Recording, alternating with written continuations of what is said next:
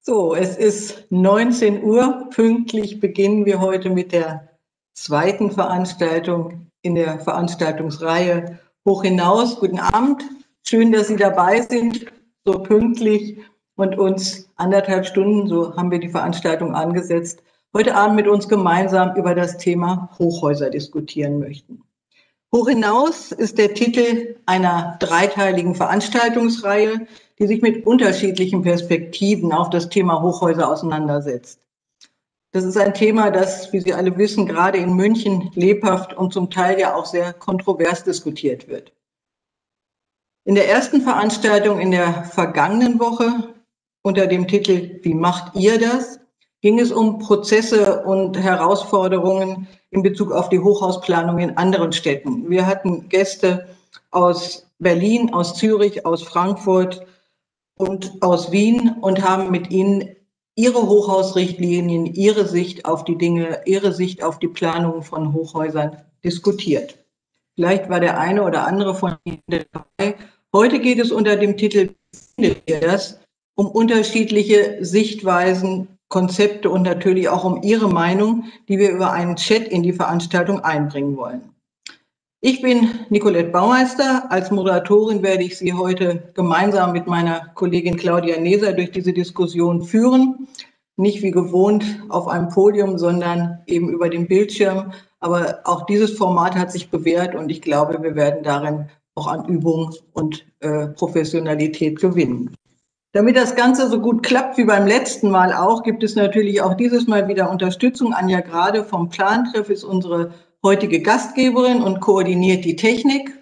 Vielleicht einmal kurz winken, dass wir wissen, wer du bist.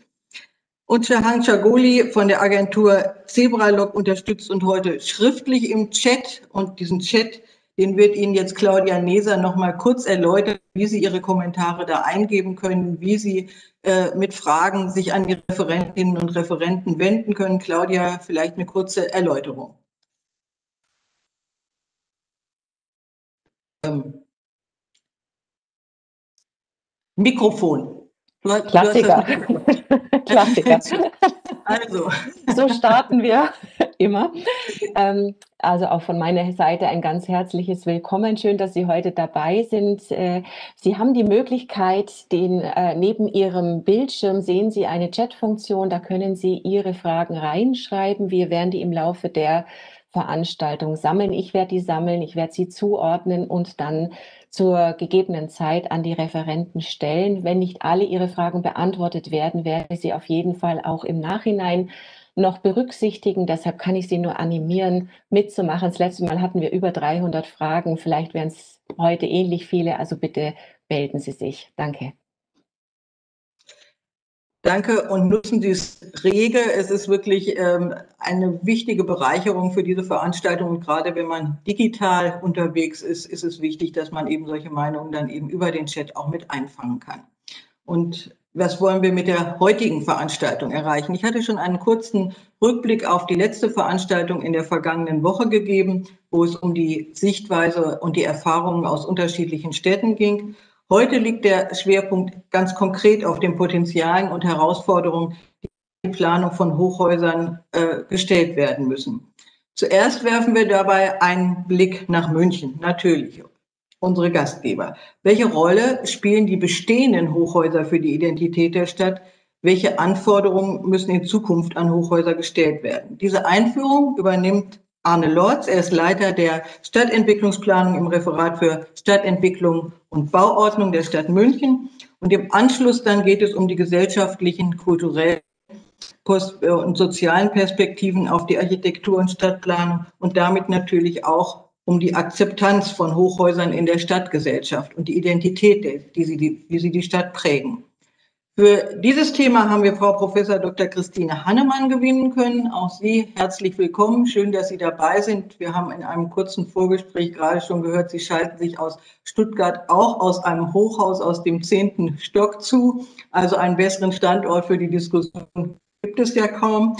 Und Sie haben seit 2011 eine Professur für das Fachgebiet Architektur und Wohnsoziologie am Institut Wohnen und Entwerfen der Fakultät Architektur und Stadtplanung der Uni Stuttgart. Herzlich willkommen. Um konkrete Planungen geht es dann in unserem folgenden Beitrag. Claudia Meixner schaltet sich aus Frankfurt am Main zu. Frankfurt ist ja, wie wir letztes, in der letzten Veranstaltung schon gehört haben, sicherlich ein Sonderfall, was Planung angeht. Sie sind Partnerin im Büro Meixner Schlüter Wendt Architekten, was in den letzten Jahren mit einigen auch sehr außergewöhnlichen Konzepten und Hochhausplanungen in München auf sich aufmerksam gemacht hat. Sie werden uns einige ihrer aktuellen Projekte vorstellen. Und danach geht es dann wieder von Frankfurt zurück nach München. Benedikt Esche ist dabei. Er ist Architekt in München und seit 2015 im Büro Kollektiv A ähm, Teilhaber Partner. Er stellt uns seine Planung für ein Hochhaus im Domarkpark vor. Bevor jetzt unsere Gäste also zu Wort kommen, bitte ich Herrn Lorz um eine Einführung. Wie sind die zentralen Herausforderungen für die Stadtplanung in München und welchen Stellenwert, welche Rolle spielen dabei die Hochhäuser? Herr Lotz, ich bitte um Ihren Beitrag. Mikrofon ja, nicht vergessen. Von meiner, das Mikro ist an, glaube ich, oder? Auch von meiner Seite einen schönen guten Abend. Ähm, wünscht Ihnen äh, das Planungsreferat, aber auch im Namen der Stadtbaurätin Frau Professor Dr. Merck, die ich heute hier vertreten darf. München ist keine Hochhausstadt, und Hochhäuser werden als selbstverständlicher Teil der Stadt verstanden. Das sind nicht widersprechende Positionen verschiedener Interessensgruppen, sondern zwei Zitate aus dem Entwurf der neuen Hochhausstudie.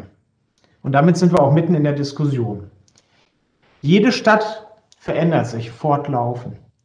München ist weitestgehend eine gestaltete Stadt. Sie bezieht ihren besonderen Reiz und ihre Schönheit aus dem architektonischen Erbe und ihrer Stadtbaugeschichte. München besitzt aber keine einheitliche Gestalt. Das Bild der Stadt kann immer nur in Fragmenten wahrgenommen werden. Es gibt also viele Stadtbilder. Auch Hochhäuser gehören zu München als dynamische und offene Stadt. Gerade der Ausgleich zwischen überlieferten Werten und neuen Impulsen hat München in der Vergangenheit ausgezeichnet. Es gelang München immer wieder, neue Stadtbilder in das Münchenbild zu integrieren. Es geht also nicht um eine neue Linie im Umgang mit Hochhäusern, sondern die Münchner Linie muss immer wieder neu ausbalanciert, neu ausgehandelt werden. Die Rahmenbedingungen für Hochhäuser und Stadtentwicklung haben sich seit den letzten Studien von 1995 massiv verändert und daher war diese Fortschreibung einfach auch notwendig. Der Entwurf der neuen Hochhausstudie ist mehr ein Leitfaden, der sich im Prinzip an drei Elementen orientiert. Das ist einmal der strukturierte Planungsprozess, um sich dem Thema anzunähern. Ähm, dann die Qualitätskriterien, die dem Planungsprozess anhaften. Und natürlich der Zonenplan als erste Einschätzung für mögliche Standorte von Hochhäusern oder eben auch keine Standorte von Hochhäusern. Die neue Hochhausstudie zeigt eine grundsätzliche Offenheit für Hochhäuser verdeutlicht aber auch, dass die Stadt klare Vorgaben für die Handhabung und Beurteilung von Projekten in der Hand haben muss. Hohe Hochhäuser, Stadtzeichen, werden in München weiterhin eine besondere Ausnahme an wenigen Stellen sein. Hochhäuser werden generell einer intensiven Prüfung im Einzelfall unterzogen, für die die Hochhausstudie den Rahmen setzt. Ein herausragender architektonischer Ansatz, ein Mehrwert für die Stadtgesellschaft und eine möglichst konfliktfreie Einfügung in Stadtsilhouette und historische Bezüge bilden dafür die Prüfsteine. Und dennoch gibt es in München heute fast 250 Hochhäuser, wenn wir über Hochhäuser reden, die über 40 Meter hoch sind. Das sind Hochhäuser, von denen wir sagen, dass man sie auch wahrnimmt. Eins der ersten Hochhäuser stammt aus dem Jahr 1929, nämlich das alte Technische Rathaus, in dem heute tatsächlich auch das Planungsreferat sitzt. Der damalige Architekt Hermann Leitensdorfer bezeichnete den Turm als Ergebnis der Auseinandersetzung mit dem Raumprogramm und der örtlichen Situation. Eigentlich auch genau das, was wir auch heute wieder ähm, diskutieren wollen. Und in den 20er Jahren gab es tatsächlich mal Überlegungen, einen Hochhausring um die Altstadt äh, herum zu etablieren. Das lehnte der Stadtrat aber damals ab. Denn, klar, kam die Kriegsphase, aber in der Nachkriegsphase wurden zwischen in den 50er und 70er Jahren neue Hochhäuser erbaut, vor allen Dingen Wohnhochhäuser. Bekannte Hochhäuser wie die Sternhochhäuser der Firma Siemens, die Parkstadt Bogenhausen, Und in den 70ern entstanden außerdem Großsiedlungen wie Neuperlach, Forstenried oder das Olympische Dorf. Alles noch heute auch beliebte Wohnorte. In den 80er Jahren orientierten sich dann die Gebäudehöhen zwar immer noch an der Frauenkirche, Beispiele dafür sind das BMW-Hochhaus, natürlich sehr bekannt. Das Hypo-Hochhaus war das erste, das dieses Maß mal überschritt mit 114 Metern Höhen. In den 90er Jahren entstanden dann eine ganze Reihe von Bürohochhäusern. Die ähm, Heiler Towers und das Münchner Tor an der A9 Richtung Nürnberg, das Uptown am Georg-Brauchle-Ring, das Mercedes-Benz-Hochhaus und der Central Tower München an der Donnersberger Brücke sowie die Bavaria Towers und das Hochhaus Süddeutscher Verlag an der A94 Richtung Messestadt Riem sind dafür Beispiele. Anfang der 2000er kam dann die Diskussion auf, wie hoch eigentlich Hochhäuser sein dürfen. Und es gab eben eine Initiative, unser München, ähm, die den Stopp dieser Hochhaus, verschiedener Hochhausprojekte forderte. Das Ergebnis ist bekannt damals mit einer Wahlbeteiligung von knapp 22 Prozent und einem Ergebnis mit fast knapp über 50 Prozent wurde erstmal ähm, positiv entschieden, keine äh, Hochhäuser höher als die Frauenkirche zu bauen. Diese Bindung, auch wenn sie nur ein Jahr rechtlich gegolten hat, auch diese Bindung wird heute noch eingehalten. In jüngster Zeit sind in München eine Vielzahl an architektonisch viel beachteten Wohnhochhäusern um die 60 Meter entstanden, wie die Südseite oder die Frinz. Und es gibt spannende Konzepte wie das Arabella 26, das sich vor allen Dingen als begrüntes Hochhaus einen Namen gemacht hat. Aber diese Diskussion muss für die richtige Höhe, muss jetzt auch wirklich geführt werden, denn es gibt einen Bedarf an Hochhäusern. Und ich hoffe, dass wir in dieser Reihe hier diese Diskussion öffnen können, dass wir einen gesellschaftlichen Konsens oder zumindest eine gesellschaftliche Diskussion, die dann auch zu einem Ergebnis führt, führen können. Ziel des Austausches heute ist, wie die öffentliche Wahrnehmung sich darstellt, wie werden Hochhäuser in der Stadtgesellschaft gesehen, wie können Hochhäuser einen gesellschaftlichen Mehrwert schaffen, welche architektonische Bedeutung wird Hochhäusern beigemessen, welche Kriterien sind bei der Hochhausplanung maßgeblich? Und welche Potenziale bieten Nutzungsmischungen. Ich hoffe, dass wir heute einen Schritt weiterkommen, uns all diesen Themen anzunähern und freue mich, dass wir hier hochkarätige Referentinnen und Referenten einladen konnten, um dieses Thema hier auch zu diskutieren. Ich danke Ihnen für Ihre Aufmerksamkeit und gebe zurück an Frau Baumeister. Herzlichen Dank, Herr Lorz. Sie haben ein Stichwort gebracht, die, der gesellschaftliche Konsens, der ja wirklich auch ein äh, Aufhänger für diese Veranstaltungsreihe mit ist. Wir wollen informieren, wir wollen die Grundzüge der Hochhausstudie vorstellen. Und die Frage des gesellschaftlichen Konsenses steht dabei natürlich im Mittelpunkt. Und von daher freue ich mich jetzt an dieser Stelle direkt an Frau Dr., äh, Frau Professor Dr. Professor muss auch noch mit rein, der Hannemann zu übergeben. Sie sind Soziologin und Professorin für das Fachgebiet Architektur und Wohnsoziologie. Sie erforschen unter anderem, wie sich gesellschaftliche Veränderungen im Wohnen zeigen. Flexibilität, Situationsgebundenheit, das sind natürlich Stichworte, die äh, man bei Recherchen zu ihrer Arbeit, auf die man immer wieder stößt. Ähm, wir wollen heute über die Hochhäuser sprechen, wo das Thema Wohnen ja immer noch ein Sonderthema ist. Ähm, darüber hinaus aber auch die Frage der Identität mit Ihnen klären. Wie, was macht ein gutes Hochhaus aus stadtsoziologischer Sicht aus? Welchen Beitrag, welchen Mehrwert, Herr Lotzes angesprochen hat, muss es für die Gesellschaft binden? Und inwieweit kann es die Identität einer Stadt, die auch wie München ja keine ausgesprochene Hochhausstadt ist, stärken? Ich übergebe Ihnen gerne für Ihren Beitrag das Wort. Mikrofon noch anmachen, Frau Hannemann.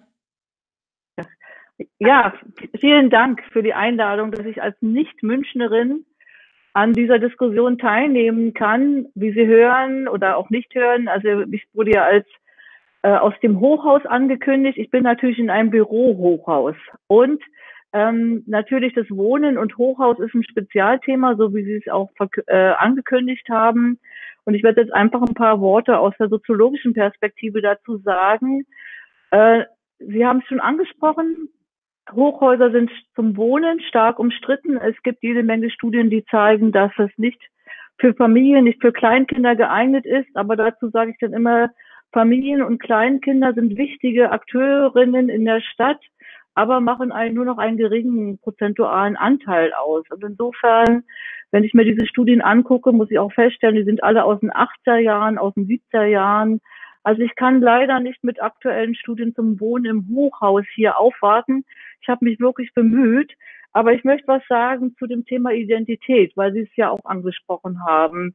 Und da ist natürlich der Identitätsbegriff ein sehr mehrdeutiger. Das kommt darauf an, wie ich ihn äh, definiere, aus der psychologischen Sicht oder so.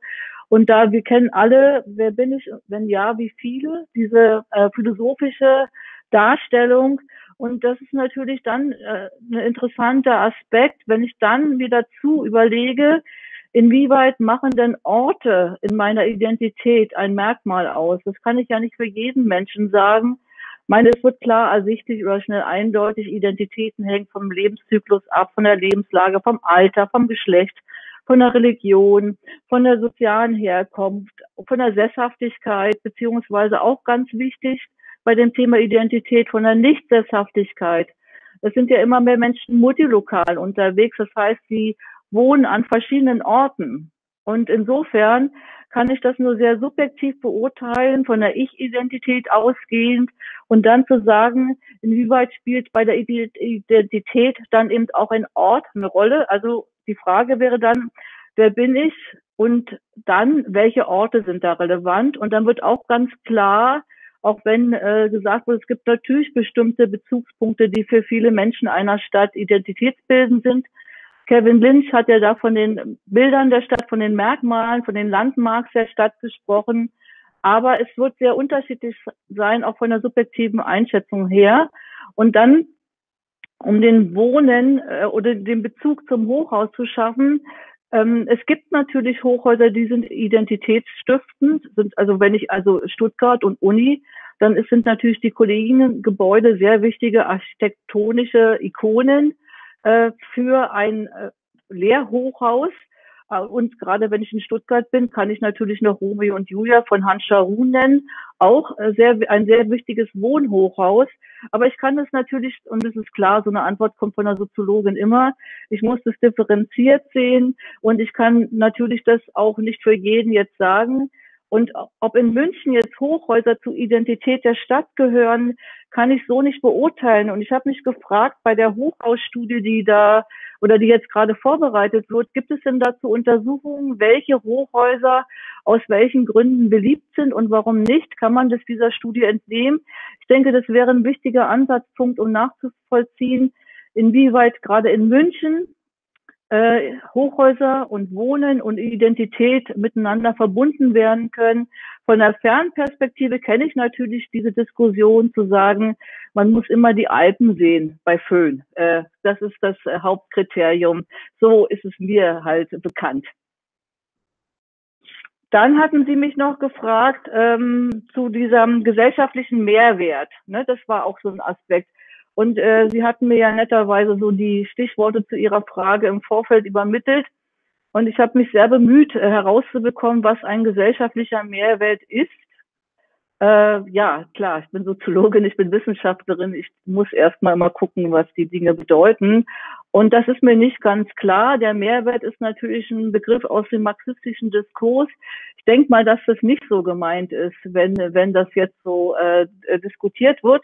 Aber ich würde mir einen gesellschaftlichen Mehrwert so vorstellen, wenn es bei, um bei diesen Hochhausdiskussionen nicht um Renditeerwartungen geht von einzelnen Privatinvestoren, sondern gesellschaftlich heißt, es geht darum, die Frage des bezahlbaren Wohnraums damit zu verbinden. Also inwieweit wird mit der Hochhausdiskussion der Planung eben auch das Thema bezahlbarer Wohnraum aufgegriffen und nicht nur als auf eine bestimmte Jahres-, also auf bestimmte Zeit gebundene Sozialwohnung, wissen wir ja alle, 40 Jahre, 60 Jahre in München ist da hervorragend, aber sie fallen dann wieder aus den Sozialbindungen heraus.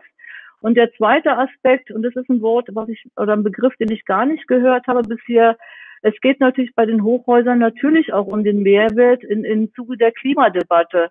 Und da habe ich natürlich zwei Argumentationslinien. Einmal, ähm, Hochhäuser sind sozial, sozialer Mehrwert, weil sie eben viel Wohnraum anbieten, aber sie können auch klimatechnisch hochproblematisch gesehen werden, in der Form, dass sie natürlich die Klimaprobleme in einer Stadt wie München verstärken, die ja natürlich auch mit Hitze und äh, steigenden Temperaturen und die Materialität ist ja auch ein wichtiger Aspekt. Also nochmal Beton in München zu äh, verbauen, heißt natürlich, die Stadt weiter durch Baumaterialien aufzuheizen.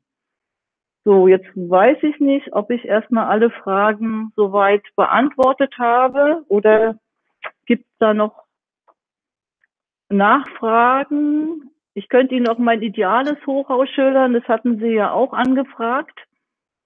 Wie bitte? Ich hatte jetzt. Könnt, ja, Sie hatten mich ja noch angefragt, also Sie hatten mich ja auch äh, gefragt, was macht ein gutes Hochhaus aus stadtsoziologischer Sicht? Da habe ich noch was vorbereitet. Okay. Also mein, mein ideales Hochhaus ist ein gelungenes Durcheinanderwohnen von Menschen, mit unterschiedlichen Lebenskonzepten und bietet eine Raumabfolge mit unterschiedlichen Intimitätsgraden, Lichtqualitäten und Ausrichtungen, sodass die Wohnqualität enorm gesteigert wird. Im für die Stadt, für die Urbanität so wichtigen Erdgeschoss findet sich eine urbane Produktionsstätte als Schaufenster ins Quartier. Ich meine nämlich, wenn wir über Hochhäuser diskutieren, müssen wir vor allen Dingen auch über die Erdgeschosszone diskutieren. Für Kinder und andere Menschen ist in dieser Erdgeschosszone äh, ersichtbar, dass Erwerbsarbeit auch heißen kann, dass etwas hergestellt, repariert, gepflegt oder recycelt wird und eben nicht nur Büros Arbeiten ausmachen. In, der, in den niedrigen Etagen darüber befindet sich ein integratives Wohnprojekt und oder Wohngemeinschaften für besondere Menschen, gerne auch Senioren, WGs jedweder Art, nun kommen aus auf verschiedenen Etagen Wohnungen für Kleinhaushalte mit oder ohne Wohnberechtigungsschein als Miet- und oder Eigentumswohnung sowie einige wenige Wohnungen für kinderreiche Familien. Und ganz oben gibt es mindestens ein stylisches Penthouse, dessen Mieteinnahmen die Wohnkosten im Erdgeschoss und in Gemeinschaftsräumen, die für mich selbstverständlich mit zu den Planungen für ein Hochhaus gehören, die das dann mitfinanzieren. Und natürlich ist das Haus außergewöhnlich gut schallisoliert und seine Materialität beruht auf energetisch sinnvollen und nachhaltigen Rohstoffen. Soweit mein ideales Hochhaus. Ich glaube, damit haben Sie den Mehrwert, den wir angesprochen haben, den Aspekt des Mehrwerts schon ganz gut zusammengefasst. Äh, das ist jetzt sehr umfassend, auch von den Nutzungsmöglichkeiten her die äh, Sie angesprochen haben. Und wir werden gleich in den folgenden Beiträgen von Frau Meixner und Benedikt Esche äh, sicherlich noch dazu auch Konzepte hören. Ähm, Sie haben das, äh, den Aspekt des Klimas angesprochen, ein ganz wichtiger Aspekt, der äh, sicherlich in der Hochhausstudie auch eine große Rolle spielt und auch in der öffentlichen Diskussion eine große Rolle spielt, wie wir beim letzten Chat schon festgestellt haben. Und ich bin mir sicher, dass es auch dazu dieses Mal wieder eine Reihe von Fragen gibt, die wir später nochmal in die Diskussion mit einholen würden. Ich hätte eine kurze Frage an Herrn Lorz, wenn Sie darauf äh, kurz eingehen könnten. Gibt es eigentlich eine äh, Untersuchung, die Frau Dr. Hannemann angesprochen hatte, welche Hochhäuser in München geschätzt sind und welche weniger geschätzt sind? Also das ist mir jetzt nicht bekannt, um ehrlich zu sein. Es gibt vielleicht Untersuchungen, aber nicht von der Landeshauptstadt, soweit ich mhm. weiß. Aber wäre interessant, also würde äh, schon auch noch mal eine Aussage bringen, äh, wo eigentlich auch so in ästhetischer und, und eben unter diesem Aspekt des Mehrwertes die Kriterien der, der Bevölkerung gesetzt werden. Können wir einfach mal anregen und stehen lassen. Vielleicht äh, ist es noch mal etwas, was man auch als Projekt im Auge behalten kann. Aber äh, das noch nicht. Äh, der, der Aspekt Klima würden wir dann auf den Chat nochmal verweisen, den gesellschaftlichen Mehrwert. Das war auch eine Frage, die Sie jetzt noch gestellt hatten, würde ich ähm, kurz zusammenfassen, so wie Sie es auch dargestellt haben mit dem gesellschaftlichen Mehrwert, ist natürlich gemeint, dass es Nutzungsoptionen gibt, die jetzt eben nicht nur im Luxussegment oder in Büronutzungen angesiedelt sind, dass es Freiraumqualitäten gibt, die vielleicht auch durch das Hochhaus entstehen, dass es ähm, Nutzungen im gibt, die öffentlich sind und dass es vielleicht auch äh, einfach Konzepte gibt, die die besonders attraktiven Räume, die ja oben sind, Sie haben von dem Penthouse gesprochen, auch öffentlich nutzbar zu machen. Ich glaube, dazu werden wir im folgenden Beitrag erste Vorschläge oder erste Ideen und auch realisierte Projekte von Frau Meixner äh, kennenlernen. Frau Meixner ist seit 1997 Partnerin im Büro Meixner Schlüter-Wendt und zudem in Fachbeiräten fachlich vertreten. Sie haben, Frau Meixner, mit Ihrem Büro, ich hatte es schon angekündigt, in Frankfurt Hochhäuser realisieren dürfen. Und ähm, Frau Dr. Hannemann hat gerade die Frage, was macht ein Hochhaus aus soziologischer, was macht ein gutes Hochhaus aus soziologischer Sicht aus beantwortet. Ich würde Sie jetzt fragen, was macht ein gutes Hochhaus aus planerischer Sicht aus und gibt es da, ist das deckungsgleich? Frau Meixner, Sie haben das Wort. Ja, auch ein herzliches Willkommen von mir. Ich freue mich auch sehr, dass ich äh, in diesem Rahmen von unseren Projekten erzählen kann ähm, und vielleicht auch darauf eingehen kann. Ich fand es sehr spannend, äh, das ideale Hochhaus von Frau Professor Hannemann. Mal schauen, ob sich bei mir da ein bisschen was wiederfindet bei unseren Projekten. Als wir unser Büro in Frankfurt gegründet haben, war eigentlich eines unserer ersten Wünsche, dass wir vielleicht irgendwann mal hier ein Hochhaus bauen dürfen. Und das bestimmt auch aus dem Grund, weil in Frankfurt die Skyline eigentlich mit das wichtigste Identifikations- oder Identitätsmerkmal dieser ziemlich kleinen, eigentlich kleinen Stadt ist. Und das war auch nicht immer so, sondern in den 60ern, als sich die Stadt entschlossen hat, hier auf Hochhäuser zu setzen, waren sie zunächst natürlich schon umstritten und auch vielleicht manchmal gehasst. Aber inzwischen sind eigentlich alle Frankfurter sehr stolz darauf und natürlich neben der Altstadt oder dem Römer. Aber anders als diese historischen Gebäude spiegeln sie das Selbstverständnis dieser Stadt als eine internationale und moderne Stadt wider. Und ich glaube, deshalb treffen sie auch da so einen Nerv. Unser Büro hat inzwischen zwei Hochhäuser bauen dürfen und für ein weiteres haben wir einen Bauantrag abgegeben und wir haben jetzt auch noch Wettbewerbsbeit äh, Wettbewerbe gewonnen und werden in der nächsten Zeit auch neue bauen. Ich habe Ihnen jetzt ähm, drei Beispiele mitgebracht, um das kurz zu erläutern. Für uns als Architekten sind Hochhäuser erstmal ähm, Projekte wie andere auch. Ähm, jede Typologie hat ihre Gesetzmäßigkeiten, Regeln oder Besonderheiten und jedes Gebäude wird unterschiedlich wahrgenommen. Und das gilt, äh, gilt für jede Größe, die man entwirft. Aber was Hochhäuser tatsächlich ausmacht, sind ihre Wahrnehmungs Wahrnehmungsdimensionen. Hochhäuser haben unterschiedliche Wahrnehmungsmaßstäbe und deshalb nehmen sie in einer Stadt auch unterschiedliche Rollen ein und haben unterschiedliche Wirkungsweisen. Und wenn man so ein Hochhaus entwirft, dann geht man natürlich darauf ein oder setzt mich da, sich damit auseinander. Das, was auch ähm, schon in der letzten Veranstaltung angesprochen wurde, war, es ist einmal die Fern Fernwirkung, also die Rolle des Hochhauses für die ganze Stadt oder vielleicht auch für die Landschaft, dann die Wirkung in der direkten Nachbarschaft, wie verknüpft sich ein Hochhaus mit seiner Umgebung und letztendlich die Wirkung für die Nutzer. Ähm, das ist bei Bürohochhäusern sind es die Menschen, die darin arbeiten, also wird es ein Lebensraum oder bei Wohnhochhäusern im besten Fall wird es auch ein Zuhause. Und durch das Exponierte und von weitem Sichtbare der Hochhäuser hat das Hochhaus eine wichtige Funktion, nämlich dieses als Identitätsstifter, die man versucht auch einzunehmen. Aus diesem Grunde entwickeln wir Hochhäuser genauso wie auch andere Projekte, die wir entwickeln, eigentlich immer aus der Umgebung. Und so versuchen wir, dass sie kontextuell sind und den Ort, an dem sie stehen, stärken und dadurch aber auch möglichst unverwechselbar sind und nicht austauschbar an jeder Stelle stehen könnten. Um das zu erklären, habe ich jetzt, wie gesagt, meine Beispiele mitgebracht. Und das erste ist das Wohnhochhaus Axis im Europaviertel. Nächstes Bild, bitte. Ähm, das Wohnhochhaus, das ist hier blau auf diesem Lagerplan gekennzeichnet, war äh, städtebaulich Konzeption, äh, von der Konzeption her gedacht, dass es eine Torsituation, einen westlichen Stadteingang für Frankfurt ausbildet. Nächstes Bild bitte. Und wir haben uns im Wettbewerb mit einer Idee durchgesetzt, und zwar äh, das Europaviertel ist vielleicht auch ein bisschen bekannt. Das sind sehr rigide Blockrandbauten, alle mit Wohnen, alle sehr gerastert.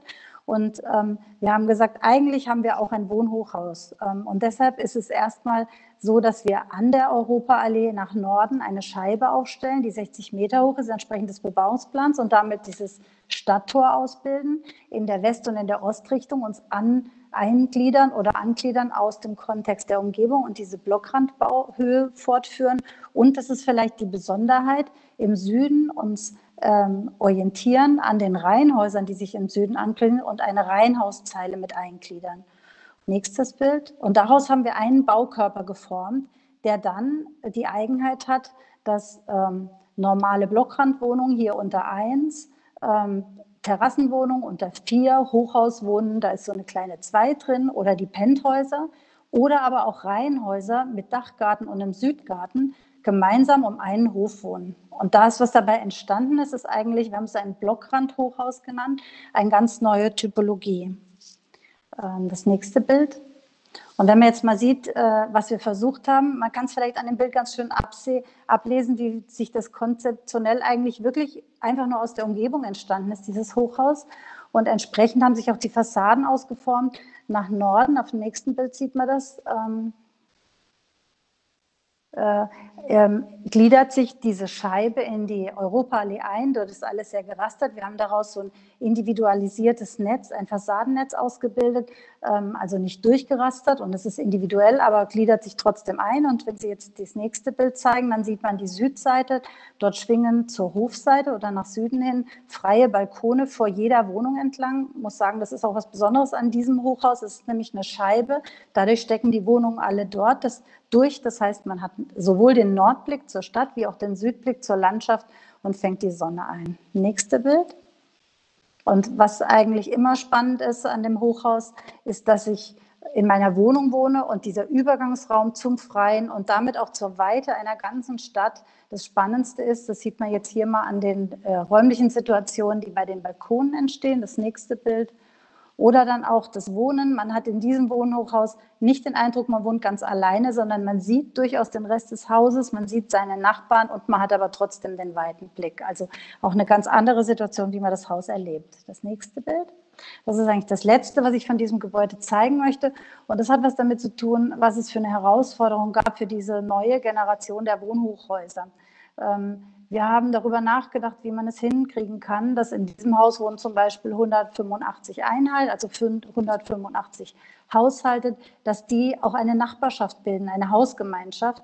Und dazu sind Gemeinschaftsräume ganz wichtig. Was wir hier sehen, ist die Eingangshalle, dort, wo sich alle treffen. Dort gibt es äh, Lesebuchten, wo man seine Post lesen kann. Ähm, man kann sich treffen mit vielen. Und es gibt einen Concierge, der ganz wichtig ist für die Gemeinschaft in dem Haus. Und eigentlich auch so eine soziale Vernetzung passiert. Und diese Eingangshalle, das sieht man jetzt nicht, die öffnet sich aber auch ganz verglast zum äh, Bürgersteig, sodass man eigentlich auch von außen reinsehen kann, sodass es auch nicht für sich abgeschottet ist, sondern dass es sich öffnet zur Umgebung. Jetzt das nächste Bild zeigt dann das nächste Projekt, was ich kurz zeigen möchte. Das ist der Henninger Turm. Das ist wirklich ein, äh, vielleicht kein Standardhochhaus, sondern das hat so eine ganz eigene Geschichte. Das nächste Bild. Der Henninger Turm ähm, war ein äh, Turm, ähm, der in den 60er Jahren gebaut wurde. Er war ein Wahrzeichen für die Stadt und zwar eigentlich nur ein Getreidesilo einer Brauerei, auf dem dann der Besitzer asymmetrisch ein Fass angebracht hat, in dem dann oben ein drehendes Restaurant war. Also relativ schön war er nie, muss man sagen. Aber so wie er am Anfang gehasst war, irgendwann war er sehr geliebt. Das, was vorhin auch angesprochen wurde in der Vorbesprechung, dass eigentlich jeder Frankfurter mit dem seine Geschichte hat. Es können Leute von außerhalb vielleicht nicht so gut verstehen, aber was schon überregional bekannt ist, ist vielleicht, das ist das mittlere Bild hier, das Radrennen rund um den Henninger Turm, das durchaus auch international Bekanntheit hatte. Ähm, und auf diesem Grundstück äh, gab es einen Wettbewerb für einen Neubau. Und das nächste Bild. Und ähm, wir hatten als Frankfurter die, den Gedanken, dass diese äh, Funktion als, äh, als Henniger Turm, als Wahrzeichen man dieser Stadt eigentlich nicht wegnehmen kann. Das brauchen die Frankfurter eigentlich. Und wir haben überlegt, was könnte, wie könnte man vorgehen, wenn man das Haus transformiert, sodass es als Wahrzeichen oder Landmark weiterhin funktioniert und trotzdem ein zeitgenössisches Wohnhochhaus ist. Die Idee der Transformation war dann das, was man rechts in dem Piktus sieht, dass es eine Scheibe gibt, die die alte Kubatur nachfährt, dass es einen Teller gibt, das es Fass andeutet. Und dann füllt sich diese Struktur mit gestapelten, ganz individuellen Wohnungen nach Süden oder oben sitzt ein neuer Glaszylinder drauf. Das nächste Bild. So eine Transformation ist schon immer ein, ähm, ein Experiment, aber von der Stadt her, Sie sehen, der Henninger Turm ist wieder da und ich glaube, von den Frankfurtern wird es auch genauso empfunden. Jetzt das nächste Bild. Wenn man sich aber dem Turm von Süden nähert, dann sieht man genau, wie diese ganz individuellen zeitgenössischen Wohnetagen mit Wintergärten und Balkonen eingestapelt sind und so eine ganz vielgestaltige vielgestaltige äh, zeitgenössische Fassade bilden. Das nächste, wenn man mal näher rangeht, dann sieht man, dass da Nein, nee, das fehlt, Entschuldigung. Also, alles gut. Also, da sieht man, wie der wirklich ganz unterschiedlich von vorne oder von hinten aussieht und ganz unterschiedliche Funktionen erfüllt. Was man ganz unten sieht jetzt, ist das Sockelgebäude, was zum Henninger Turm gehört. Dazu werde ich auch noch was sagen. Das nächste Bild jetzt bitte. Auf dem Lageplan kann man sehen, ähm, auf dem Quartier oder auf, der, ähm, auf dem Grundstück der Henninger Brauerei wurde ein neues Wohnquartier gebaut. Ähm, in diesem Quartier übernimmt, und das ist die zweite Funktion, die ich vorhin angesprochen habe, der Henninger Turm auch ähm, ein, viele Funktionen genau für dieses Quartier. Sie sehen hier den Plan des Quartiers sehr viele Punktbauten, Blockrandbauten, da gibt es einen Kindergarten, da gibt es einen alten Park und eine Villa und dann unter Punkt 1 der Henninger Turm in seinem Platz mit seinem Sockelgebäude. Und der Henninger Turm ist gleichzeitig, nächstes Bild bitte, ähm, bildet den öffentlichen Platz, dass sich alle an diesem Henninger Turm treffen könnten. Dort gibt es eine Nahversorgung. Sie sehen das links. Es gibt ein großes Parkhaus und geradeaus gibt es einen Fitnessbereich in dem Riegel. Nächstes Bild der einen Pool auf dem Dach hat. Sie sehen links den Henninger Turm durchschauen. Also ähm, er bietet für die Bevölkerung einen Anlaufpunkt für ganz viele verschiedene Tätigkeiten. Und das nächste Bild zeigt dann, ähm, dass wir auch ähm, anknüpfen konnten an die Tradition des Henninger Turms. Es gibt oben am Henninger Turm wieder eine Aussichtsplattform mit Bar und ein Restaurant. Das heißt auch, die Bevölkerung darf auch wieder oben in den Turm. Ähm, und damit muss man sagen, bin ich vielleicht jetzt auch auf viele Funktionen eingegangen, die, äh, die so ein Turm einnehmen kann, auch für die direkte Bevölkerung. Und neben diesen ganzen funktionalen Sachen ist, glaube ich, für die Menschen, die in dem Quartier wohnen, tatsächlich so, jeder Einzelne wohnt am Henninger Turm und nicht irgendwo. Und ich glaube, das ist was ganz Besonderes und gibt diesem Quartier wirklich seine Identität. Das nächste, was ich zeigen möchte, ist ähm, der Wettbewerbsbeitrag, einer, den wir dieses Jahr gewinnen konnten. Und zwar ist es das Präsidium und es äh, geht nochmal anders mit so einem Ort. Und nächste Bild zeigt äh, den Lageplan. Es ist ein innerstädtisches Quartier in der Nähe des Bahnhofs und der Messe. Und dieses Quartier hat ganz viele Nutzungen. Dort ist vorgesehen ein Schulgebäude, ein Kita, Wohngebäude, ähm, Bürogebäude und in dem Turm selber nochmal Hotel, Büro und Wohnen, also auch ein multifunktionaler Turm mit einer Platzfläche. Und die Besonderheit ist aber, das nächste Bild bitte, ähm, hier sieht man nochmal das Quartier. Es ist also wirklich wie so ein Stadtbaustein und das hat alles mit zu diesem Wettbewerb gehört. Und das nächste Bild zeigt eigentlich das Besondere an dem Quartier, die vielen verschiedenen Nutzungen. Und das, was Sie links äh, vorne sehen, nämlich das Präsidium, ist das alte Polizeipräsidium der Stadt Frankfurt in dem Hohenzollern-Palais. Nächstes Bild bitte. Da sieht man es dann endlich. Da sieht man, ähm, das ist ein historisches, sehr eindrucksvolles Gebäude, was jetzt lange leer stand und es gehört mit zu dem Ensemble. Und unser Konzept hat vorgesehen, wir haben überlegt, welches Thema könnte an diesem Ort das besondere Thema sein, mit dem man arbeitet. Und die Idee war, wie könnte man die Identität dieses Präsidiums, das jeder kennt ähm, und das etwas Besonderes ist in der Stadt, in den Himmel projizieren. Und die Idee war, an diese Dachformen anzuknüpfen und daraus einen plastischen, vielgestaltigen Baukörper zu entwickeln, der dann damit auch einen oberen Abschluss hat und eigentlich immer erkennbar ist und diesem ganzen Quartier eine Mitte begibt. Und das nächste Bild zeigt dann, wie es aussieht. So ist der Blick von der Friedrich-Ebert-Allee. Sie sehen links unten noch das Präsidium rausschauen, rechts ähm, der, die Neubauten und dann der Turm, wie er drin steht. Und das nächste Bild ist auch mein Anfangsbild nochmal, wo ich das, dich der Kreis schließt. Und dann hoffe ich, dass ich an diesen Beispielen etwas zeigen konnte, was wir unter kontextuellen Hochhäusern verstehen, wie wir versuchen, die Orte wieder zu spiegeln und sie zu stärken und dass vielleicht Hochhäuser wirklich eine Bereicherung für alle sein können. Vielen Dank für die Aufmerksamkeit. Danke, Frau Meixner. Das ist wirklich ein tolles Spektrum, was Sie dargestellt haben. Ich fasse es noch mal ganz kurz zusammen. Sie haben eigentlich zwei Wohnhochhäuser äh, vorgestellt, wo wir gerade in dem vorherigen Beitrag die Fragestellung hatten, geht das überhaupt, hat das äh, eine Relevanz im Bezug auf das Wohnen, der Hochhausbau?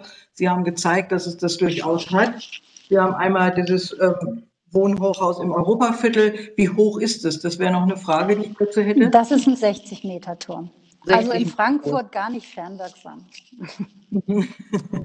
Dann den Henninger Turm, das ja eine Transformation ist, also vorher keine Wohnnutzung an gleicher Stelle, jetzt aber auch wieder ein, ein identitätsbildendes oder identitätsstiftendes Gebäude, äh, was aber eine neue Nutzung eben auch hat als Wohnnutzung.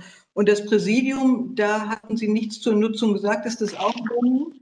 Das ist eine Mischnutzung, ein multifunktionales Wohnhoch, äh, Hochhaus mit Wohnen, Büro und äh, Hotel. Mhm. Ähm, die Höhen sind, also der Henninger hat 140 und das Präsidium 175 Meter. Das Präsidium ist ja auch nochmal ein Sonderfall, weil es wirklich Teil eines neuen Quartiers ist und nicht einfach nur ein, ein, ein, ein Solitär, sondern wirklich ja. ein Teil, der sozusagen das Quartier dann auch nochmal eine neue Identität geben wird, unter Berücksichtigung der Bestandsbauten wie diesem historischen Gebäude, was erhalten wird, wenn ich das richtig verstanden ja. habe, auch, oder? Ja, genau. Ja, das wird erhalten. Gut.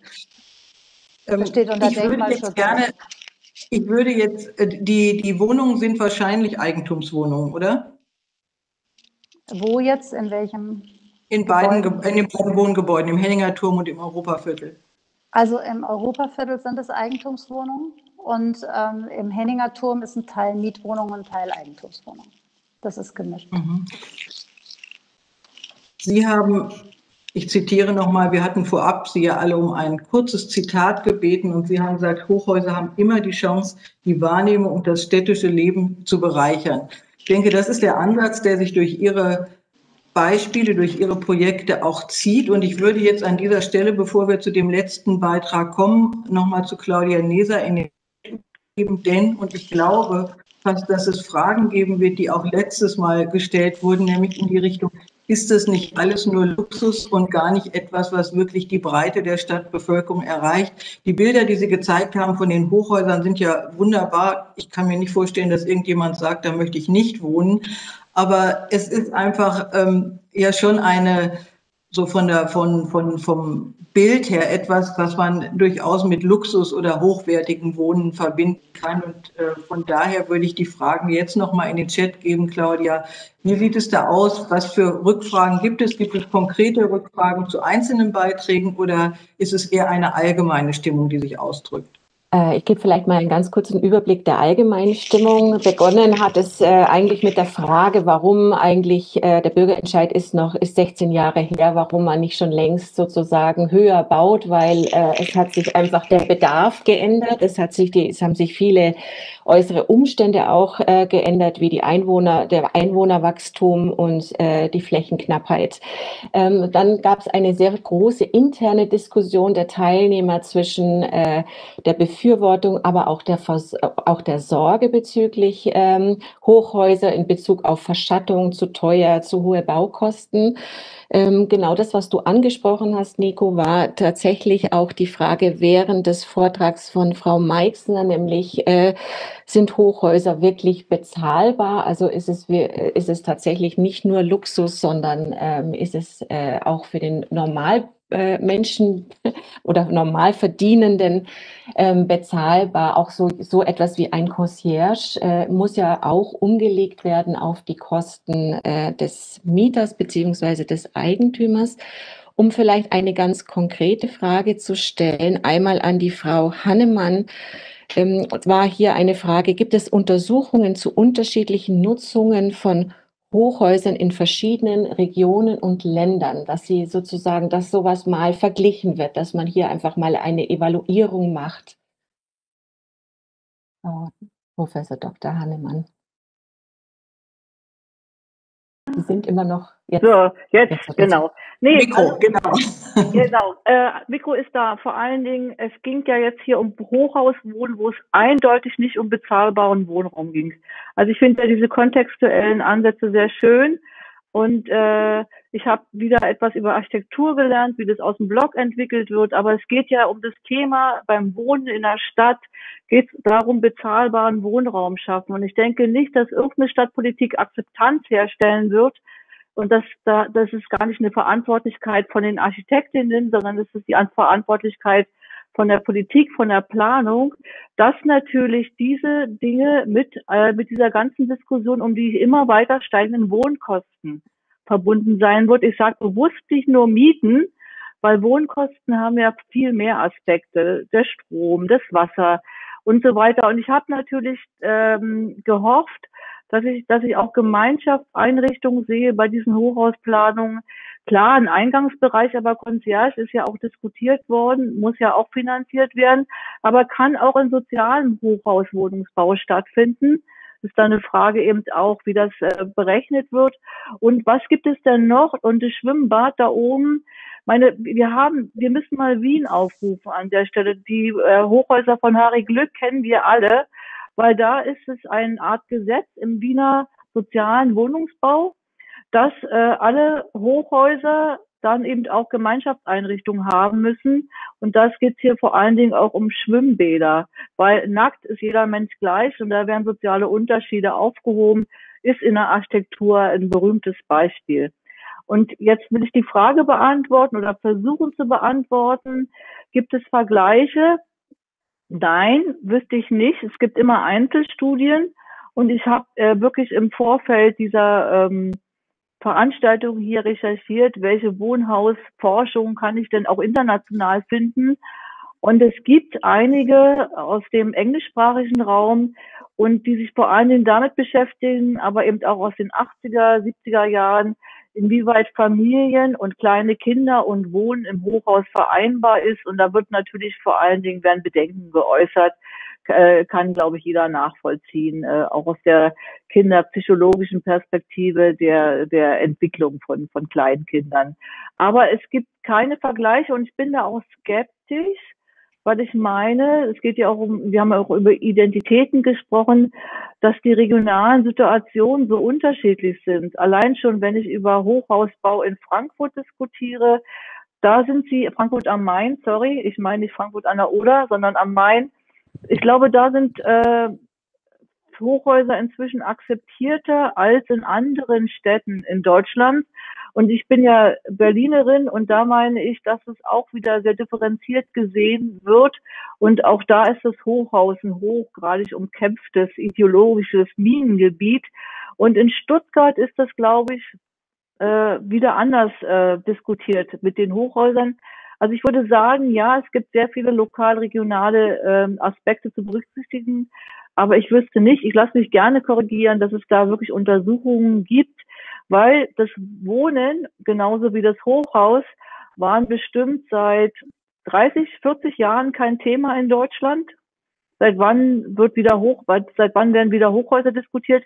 Also für Berlin kann ich sagen, äh, mit den, nachdem die Mauer niedergerungen wurde, mit den neuen Diskussionen über die Stadtentwicklung, da ist ja der Alexanderplatz mit Hochhäusern beplant worden, während die City West äh, mit äh, in Traun, also privaten äh, einigen wenigen äh, Dingen, aber das spielt ja jetzt hier keine Rolle. Also ich meine, dass wir da noch nicht so lange auch eine Diskussion haben. Und ich meine, im Zuge der Stadtverdichtung, der sozialen Stadtentwicklung müssen wir auch über das Wohnen im Hochhaus natürlich nachdenken. Dankeschön, Frau Professor Dr. Hannemann. Soll ich noch eine Frage stellen oder sollen wir die am ich würde, Schluss? Ich würde äh, ganz kurz äh, Frau Meixner die Gelegenheit geben, darauf einzugehen, äh, weil sie war ja auch direkt angesprochen. Also von daher, Frau Meixner, können Sie gerne schnell antworten. Ja, ich mache es auch ganz kurz. Also ich wollte vielleicht konkret was dazu sagen, weil das sind ja immer auch ähm, pauschale ähm, Einschätzungen, die man gibt. Ich kann das jetzt nur konkret aus Projekten berichten. Der Henninger Turm ist natürlich eher ein Luxusprodukt, weil äh, da oben so ein äh, Fass oder so eine Scheibe in die Luft zu hängen, ist einfach statisch aufwendig. Man hat zwei Kerne und das kann man nicht günstig machen. Aber der Henninger Turm ist ein Element in einem Quartier, wo ganz normale Wohnungen sind. Ähm, und da ist es die Mischung eigentlich dadurch angelegt.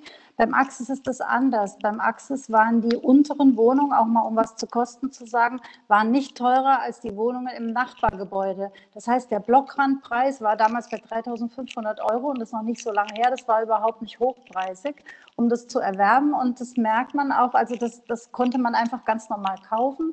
Die Hochhauswohnungen waren dann 2.000 Euro mehr und die Penthouse-Wohnungen waren dann Luxusprodukte. Und da gab es auch eine Querfinanzierung. Und ich glaube, diese Reihenhäuschen waren auch ganz äh, handlich noch. Und da wohnen zum Beispiel Familien mit Kindern. Ähm, ich sage jetzt mal, Familien mit Kindern, die vielleicht äh, Frankfurter sind oder Deutsche sind. Was interessant ist, im Axis wohnen relativ viele asiatische Frankfurter Mitbürger, die im Westend arbeiten, also ähm, und die das zum Beispiel total nah finden. Die Entfernung, die wir weit finden, finden die nah. Und die Kinder werden äh, von der Schule gebracht und die gehen zum Concierge und warten da und dann werden die von den Eltern abgeholt. Und zum Beispiel, das hat vielleicht auch wirklich was Lokales, was Sie vorhin angesprochen haben, zu tun, wie man sowas überhaupt empfindet. Das ist so ein ganz modernes Haus und ich glaube, diese Mischfinanzierung und Mischnutzung ist da eigentlich ganz schön. Ähm, praktiziert worden. Und es stimmt, der Concierge kostet natürlich Geld, aber durch 180 Einheiten geteilt ist das vielleicht gar nicht so viel. Dafür hat zum Beispiel dieses Haus sich geleistet, auch für 180 Einheiten, eine Abwasser-Wärmepumpe äh, einzubauen. Nebendran gibt es viel Industrie und Schwimmbäder. Das heißt, wir ziehen äh, die Energie aus dem Abwassernetz und die Nebenkosten sind dadurch sonst sehr günstig. Also die Wohnungen haben fast keine Heizkosten, aber haben einen Concierge und die Nebenkosten sind insgesamt nicht so hoch. Ich glaube, dass das ein Haus ist, was eine ganz gute Mischkalkulation, Mischnutzung und auch gemischtes, wie so ein kleines Quartier abbildet. Ähm, das wollte ich nur mal als Beispiel sagen. Ganz kleine Ergänzung dazu, das ist richtig. Ich wollte äh, auch nochmal darauf hinweisen, dass international gesehen das Wohnen im Hochhaus überhaupt kein Thema ist und dass man sogar weltweit sagen kann, also die besser situierten wohnen in Hochhäusern. Das ist also in Singapur so, das ist in Tokio so, das ist äh, in den USA so, das ist äh, in, in äh, Brasilien so und so weiter, also äh, in Moskau, also überall auf der Welt und es ist ein deutschlandspezifisches ja. Thema. Daran haben Sie mich gerade wieder aber erinnert. Aber wir wollen ja, ja. wir wollen ja, ja heute in München bleiben. Es geht genau, heute uns ja wirklich um München und natürlich muss man es in die Relation setzen, das ist vollkommen mhm. klar. Ich würde jetzt aber gerne noch mal kurz zurückgeben an Claudia Neser, die, glaube ich, noch eine konkrete Frage ja. hatte, die ich in den Chat. Wir haben zum Schluss noch mal die Möglichkeit, miteinander zu diskutieren, würde aber das Spektrum auch nicht zu weit auffächern, weil es soll ja immer wieder dann auch zurück auf München übertragbar sein und äh, mal zurück an Claudia Neser. Ja, Frau, Meixner, Frau Meixner, ich will genau da ansetzen, wo Sie gerade aufgehört haben, nämlich die Frage kam, wie können Ho Wohnhochhäuser resilient werden? Das heißt, äh, wie kann man hier äh, Energie, vielleicht energiesparend beziehungsweise klimaneutral bauen? Wie kann man äh, Nutzung von CO2-neutralen äh, Materialien benutzen? Sie haben ja jetzt gerade schon von dem Wärmetauscher gesprochen. Da, deshalb hake ich da jetzt auch gerade rein, sozusagen in die Frage. Sie, Sie versuchen ja auch schon, soweit es geht, äh, solche, solche Möglichkeiten umzusetzen, stimmt's? Äh, ja, das ist so, wobei man muss sagen, beim Axis ist es so, das ist noch ganz traditionell herkömmlich gebaut als Stahlbetonbau. Es wäre sicherlich spannend, äh, auch mit Holzhochhäusern. Es gibt inzwischen viele Entwicklungen und da wird viel, äh, da tut sich viel. Das hat was mit Brandschutz und mit den vielen Vorkehrungen zu tun. Da könnte man sicherlich noch mehr machen, aber man muss sagen, ähm, das Energiekonzept von dem Haus ist sicherlich sehr innovativ und profitiert auch davon, dass es eine große Einheit ist. Ja, also da, da kann man schon, es ist ein kompakter Baukörper und es ist eine große Einheit und dann kann man auch in sowas besser investieren, weil sich das dann aufteilt und dann äh, spiegelt sich es eigentlich wieder positiv wieder. Aber es ist sicherlich so, wir sind da auch am Anfang und da geht es darum, weiterzuentwickeln und ähm, sich weiterzuentwickeln und auch für die Nachhaltigkeitsfragen eigentlich immer besser zu werden. Da gibt es keinen Grund, sich irgendwie auszuruhen, glaube ich. Ich denke, dass wir das Thema Klima, Ökologie und auch Baustoffe nochmal in unserem abschließenden Chat aufgreifen werden. Ähm, wir haben ja zum Schluss nochmal die äh, Möglichkeit, eine Viertelstunde einen Chat auch auf, in Fragen, auf Fragen gezielt ein. Ich würde jetzt aber gerne, bevor wir nach Shanghai und Moskau schauen, nochmal wieder zurück nach München schauen, denn wir kommen damit auch zum letzten Vortrag, der auch nochmal eine Menge an Diskussionsstoff sicherlich beinhalten wird zum letzten Vortrag des heutigen Abends zumindest, äh, zum Quartier Domark Park. Benedikt Esche ist da unser Referent. Er ist Architekt seit 2015 im Büro Kollektiv A. Seine Arbeit wurde bereits in diversen Stipendien und Preisen gewürdigt. Er wird uns heute ein Projekt vorstellen, das bereits viele Fürsprecher gefunden hat. Die Süddeutsche Zeitung titelte, der Bezirksausschuss ist entzückt über die Vision eines Architekten. Solche Presse haben Architekten relativ selten, dass jemand geradezu entzückt ist. Er wird uns heute sein Projekt vorstellen, einen 60-Meter-Turm im Domark-Park für Ateliers und Startups. Womit haben Sie den Bezirksausschuss überzeugt? Herr Esche, Sie haben das Wort. So, ich bin äh, online. Hallo in die Runde. Ich äh, freue mich, dass ich heute hier sein kann. Vielen Dank für die Einladung. Ich glaube, dass äh, tatsächlich nicht ich oder das äh, unmittelbare, also dass nicht ich äh, diese, äh, den Bezirksausschuss und dann auch den Stadtrat ähm, letztendlich überzeugt habe, sondern vielmehr die Nutzerinnen und Nutzer und eben die Künstlerinnen und Künstler, die das ganze Projekt eben erst initiiert haben. Ähm, ich würde das, machen wir das so, Anja, dass wir einfach eine, ich sage einfach next oder nächste, nächste Folie bitte.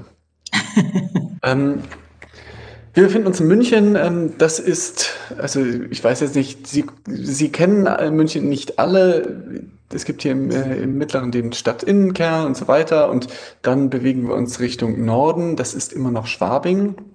Und jetzt äh, nächste Folie bitte.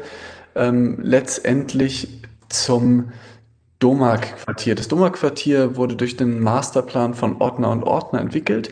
Es gibt aber dort äh, es gibt diesen Ort allerdings schon viel länger. Unter anderem wurden eben die Hallen, die dort äh, eben äh, zuvor gestanden haben und jetzt auch teilweise immer noch stehen mit dem Domark-Quartier, also den Domark-Ateliers, ähm, bildeten damals die größte Künstlerkolonie Europas. Über 300 Künstlerinnen und Künstler haben dort gearbeitet, gewerkelt, getan und einen Hauch davon spürt man immer noch gerade in diesem Haus. Und ich kann das auch nur empfehlen, also auch hier an die Zuhörerinnen und Zuhörer, wenn man einfach mal nach München fährt, die erste Station direkt ins Domark, weil das macht tatsächlich eine wahnsinnige Freude, dort diese Begeisterung von den Menschen dort zu sehen und vor allem auch diese wirklich hochkarätigen Arbeiten. Und all diese Künstlerinnen und Künstler haben sich jetzt eben da äh, zusammengetan, haben eine Initiative ins Leben gerufen, die dann letztendlich damals in der Rathausgalerie, nächste Folie bitte, ähm, und jetzt tatsächlich noch eine und dann springen wir kurz dann äh, zurück, weil ich mache das nicht abgelesen, ein bisschen hin und her. Ähm, die und haben dann in dieser Rathausgalerie, wo eben dieser Masterplan von Ordner und Ordner vorgestellt wurde, ähm, den Riegel, der damals den Künstlerhof komplett absperrt von dem neuen Quartier, einfach hochgehoben, also haben den hier gemacht und haben gesagt, nein, wir äh, brauchen einen Turm, wir brauchen Sichtbarkeit, aber wir brauchen auch nicht nur 10, 20 Ateliers mehr, sondern wir brauchen tatsächlich eine Masse von 100 Ateliers mindestens. Und jetzt gehen wir bitte eine Folie zurück. Ähm, und was daraus entstanden ist, ist eigentlich ganz instinktiv, irgendwie ein ganz sinniger, stimmiger Ort, nämlich in dieser Abfolge von einmal den Munich Highlight Skyline Business Towers ähm, von Jan, dann eben den Osram äh, Tower oder äh, auch von Jan oder die Jan Tower, wie sie jetzt heißen, und dann schließlich der Atelierturm, der eben an dem letzten Schenkel des äh, Ateliergeländes, äh, Ateliergebäudes eben steht im Doma-Quartier. Das ist also auch gleichzeitig die allererste Adresse, nimmt man einmal die Allianz Arena und so weiter zur Seite, die nun eben ein neues, einen neuen Turm, einen neuen Leuchtturm eben für die Stadt und auch für die Künstlerinnen und Künstler, die eben in dieser Stadt sind, eben schafft. Das bedeutet eigentlich damit viel mehr, dass so ein Turm letztendlich, jetzt fange ich mal vielleicht ein ganz bisschen an zu träumen, dass so ein Turm nicht mehr nur irgendwo eine reine Nutzbarkeit in, in gewissen oder für gewisse Stereotypen oder für Wohneinheiten, Gewerbeeinheiten oder oder ist, sondern es zeigt eben, was dieser Turm, was eben, was eben auch noch sein kann. Und damit schafft es eben auch in gewisser Weise für die Künstlerinnen und Künstler genau das, was die Künstlerinnen und Künstler verdienen, was ihnen aber die Gesellschaft immer vorenthält. Nämlich adäquate, bezahlbare Ateliers und die an einer prägnanten und sichtbaren Stelle in München. Und jetzt springen wir zwei Folien vor. Was bedeutet denn Turm? Also da reden wir über äh, 60 Metern und auf diesen 60 Metern Höhen und eben äh, bis zu 17 Geschossen entstehen jetzt eben ähm, 100 Ateliers. Äh, die Idee dahinter, und vielleicht eine Folie nochmal weiter, weil es auch viel Text, das erzähle ich ja, Genau, die, die Idee dahinter, und jetzt, wenn wir da in dieses Objekt reingehen, ist eigentlich einen maximal flexiblen und auch in dieser Anmutung von den Domark-Ateliers äh, bestehenden Struktur dorthin gehen, einen richtigen, adäquaten Raum zu schaffen. Das bedeutet, wir schaffen eben in der ganz rohen, puren und vereinfachten Struktur einen Hochpunkt, der sich dann eben, der dann eben von den Künstlern und Künstlern und eben dann auch den Kreativschaffenden eben dann angenommen wird und letztendlich im Innenausbau auch weiter verändert werden kann. Nächstes Bild bitte.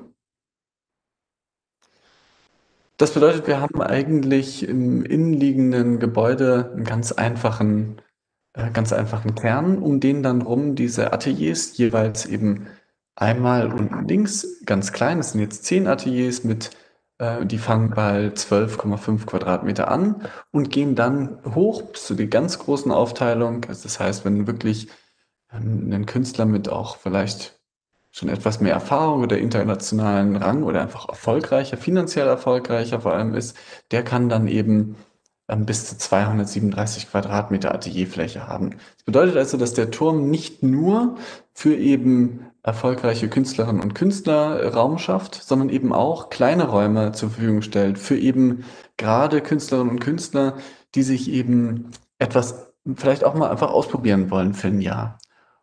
Und überspringen wir mal nächste Folie bitte. Genau, nee, eins zurück, Entschuldigung. So. Genau, und in dem, im Schnitt kann man das jetzt eigentlich ganz gut sehen, dass sich das auch in den Höhen differenziert. Und dadurch entsteht natürlich einmal ein relativ differenziertes Fassadenbild, aber es entstehen auch wieder, und das für die Künstlerinnen und Künstler eben ganz verschiedene Raumqualitäten, die da drin passieren. Also eben zum Beispiel den Musiker, der eben für, braucht vielleicht nicht so einen hohen Raum, wogegen ein Bildhauer oder eine Bildhauerin vielleicht einen etwas höheren Raum braucht. Und so greifen diese Attis immer ineinander und bilden dann damit eben verschiedene Raumqualitäten. Nächste Folie bitte. In der ganzen Finanzierbarkeit funktioniert das dann so, dass eben wir unten eine öffentliche Werkstatt haben, die eben sich auch dem ganzen Quartier öffnet. Ähm, dann eben eine Galerie und eben öffentliche Räume, wo eben regelmäßig Ausstellungen, aber auch natürlich der Verkauf von Kunstwerken und und und äh, stattfinden. Schließlich die Ateliers, also das sind tatsächlich die Domak-Künstlerinnen und Künstler und eben dann zusätzlich sich bewerbende Künstler. Und dann darauf die Studios, das sind jetzt Kreativschaffende. Kreativschaffende, was ist das eigentlich? Das sind Grafiker, Designer, Architekten, Architektinnen, ähm, also Menschen wie äh, ich und Sie. Und oben schließlich on top ist ein öffentlicher Schauraum und dann schließlich noch eine äh, Rooftop-Bar. Und nächste Folie bitte. Gemeinsam mit den Künstlerinnen und Künstlern, weil ich finde, wie entwickelt man Architektur? Und gerade vor allem, wenn es eben darum geht, wirklich mit so vielschichtigen äh, Künstlerinnen und Künstlern da an einer Stelle zu arbeiten. Das ist ja eine wahnsinnig schöne Initiative von denen. Und dann muss man die erstmal an einen Tisch gemeinsam bringen oder jetzt halt quasi in den digitalen Raum und entwickelt gemeinsam mit äh, denen eben äh, für die Raumanforderungen, also in einem ganz partizipativen Prozess, eben ganz einfache und kleine Geschichten. Das sind dann Geschichten, ich zeige jetzt tatsächlich nur einen kleinen Ausschnitt davon, Geschichten wie eben die Sitzstufen, wo man sich vorstellen kann, dass da, wenn dann irgendwann auch Covid äh, vorbei ist, dass dann da kleine Konzerte stattfinden können und jetzt diese Sitzstufen wie auf der Glyptothek eben dann dafür genutzt werden, dass sich dort Menschen hinsetzen, ähm, gemeinsam diskutieren, unterhalten und dort eben auch Veranstaltungen einfach stattfinden können. Dann gibt es sowas wie die Garagenloft, die eben von der Stufe selbst eben auch immer Blicke und Durchblicke in die oberen Geschossigkeiten ermöglicht, also immer auch wieder diesen Austausch, diese Kommunikation zum Quartier selbst und zur Nachbarschaft. Dann schließlich überspringen wir den Garagensockel, die Laderampe, die eben, das kann man sich an so einem ganz romantischen Bild eigentlich vorstellen, wie wenn man äh, gemeinsam alle ähm, alles einlädt und arbeitet und dann einfach eine Vespa in der Sonne macht. Ähm, und schließlich die Werkstattgalerie, die eben auch in Teilen im Souterrain liegt ähm, und dann gleichzeitig das Kellergeschoss mitnimmt, aber trotzdem eben immer wieder diese Einblicke zur, zum Straßenraum schafft. Nächste Folie bitte. In den oberen Geschossen ist das eigentlich recht leicht erklärbar. Es gibt die Studiogrößen S, also ab 12,5 Quadratmeter, Studiogröße M und L und dann eben die verschiedenen Qualitäten der Ateliers. Also das Split-Level-Atelier, das heißt jetzt in dem Atelier selbst gibt es den Sprung ähm, nach unten, also eine eigene Raumqualität, die dann eher zugeschnitten ist, zum Beispiel für Skulpturen. Das heißt, man kann sich auch mal auf die Stufe stellen, könnte dann um die Skulptur herum arbeiten. Demgegenüber steht die, das Galerieatelier. Das ist dann tatsächlich eher für großflächige Malerei geeignet. Und dann gibt es die hoch, äh, die höchsten Räume, also die Duplex-Ateliers und natürlich Duplex-Studios. Und da haben wir auch immer schon ein wenig gewitzelt, dass, wenn es dann steht, in fünf Jahren, ähm, dass äh, ich der Erste bin, der sich tatsächlich so ein Duplex-Atelier dort äh, anmietet. Nächste Folie bitte. Das Ganze ist, äh, weil wir eben im äh, Eigenausbau sind und in der ganz rohen, puren Struktur eben relativ günstig. Also wir sprechen von Baukosten von ungefähr 11,3 Millionen Euro. Und warum ist das Ganze so günstig? Es ist so günstig, weil wir einmal Recyclingbeton verwenden ähm, und damit gleichzeitig so ein bisschen einen Spagat schaffen. Also Recyclingbeton ist einmal nachhaltiger als klassischer Beton und gleichzeitig entwickelt er eine wahnsinnige Poesie. Nämlich wird aus den alten ehemaligen Nazi-Kasernen nun, die eigentlich für, also gerade in München, für, also als ehemalige Stadt der Bewegung und, und, und, da möchte ich gar nicht so weit drauf eingehen, für Unterdrückung und auch Unterdrückung von Kunst, Gleichschaltung und, und, und steht und schaffen aus diesen rohen fast schon sehr negativ behafteten äh, Material eigentlich was ganz Schönes, nämlich ein, das ganze Gegenteil, ein Ort für Kunst, Kultur und für ein gemeinsames Miteinander in dem neuen Quartier. Nächste Folie bitte. Was bedeutet jetzt rohe äh, Struktur oder rohe oder rohe oder ehrliche Struktur? Also ich finde, das äh, hat was mit Materialehrlichkeit zu tun. Ich halte das eigentlich inzwischen schon kaum noch aus, wenn Materialien, Plastik sieht aus wie Stein, Stein sieht aus wie Holz und Holz sieht aus wie ähm, irgendwelche Kunststoffe jeglicher Art. Materialehrlichkeit hat was damit zu tun, dass Stahl eben wie Stahl aussieht und das auch ist. Beton ist Beton und Holz ist eben Holz. Und das Ganze wird dann eben so übersetzt, dass man in diese ganz puren, in diesen veredelten, möchte ich fast sagen, veredelten Rohbau dann eben mit Künstlerinnen und Künstlern die Räume eben selber nach eigenem äh, Verlangen und nach eigener Nutzbarkeit eben gestalten kann.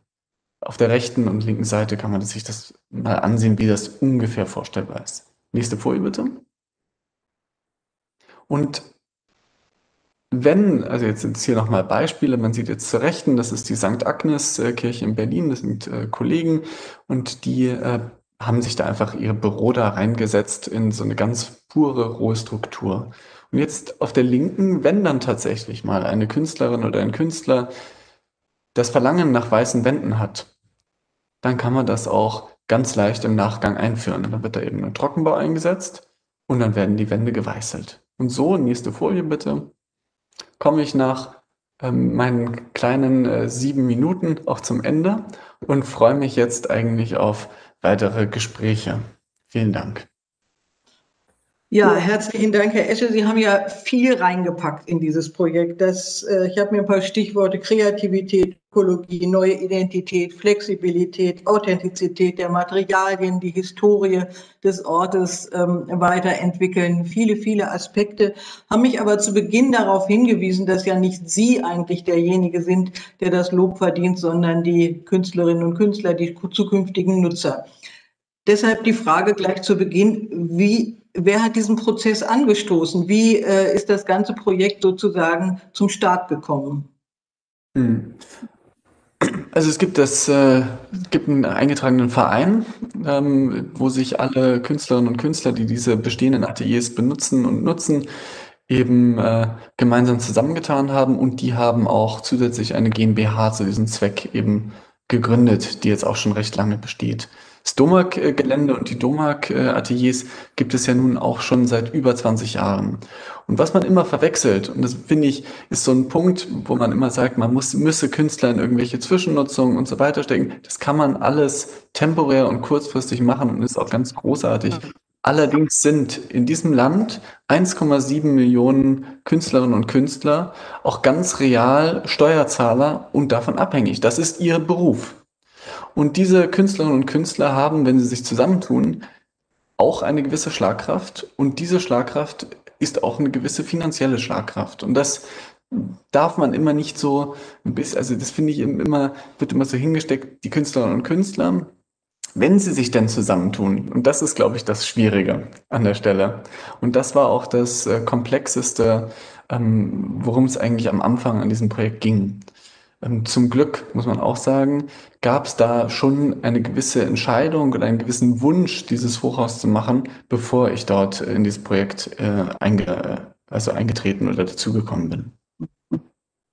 Mhm. Und ohne den, also guten, ohne den guten Vibe, den es da gibt, wäre das wahrscheinlich auch nie so weit gekommen. Also potenziell wäre diese GmbH dann auch letztendlich der Bauherr. Ist das, das richtig? richtig? Ja. Ja. Und wie würde dieser Prozess jetzt, was fehlt, um diesen Prozess zu realisieren oder um ihn umzusetzen, die Planung? Also es geht Woran jetzt. Ähm, es geht jetzt da an der Stelle um einen äh, Erbbaurecht-Vertrag, äh, weil es ja städtisches äh, Gelände ist, also ein städtisches Gebiet. Und äh, dann, gut, dann gibt es den üblichen äh, Prozess. Wir bräuchten an der Stelle jetzt tatsächlich eine ähm, äh, Änderung im äh, Bebauungsplan für, diese, für diesen spezifischen Ort. Aber das sehen wir eigentlich relativ positiv. Also es ist, da sind wir jetzt auch in den ersten Gesprächen mit eben Juristen.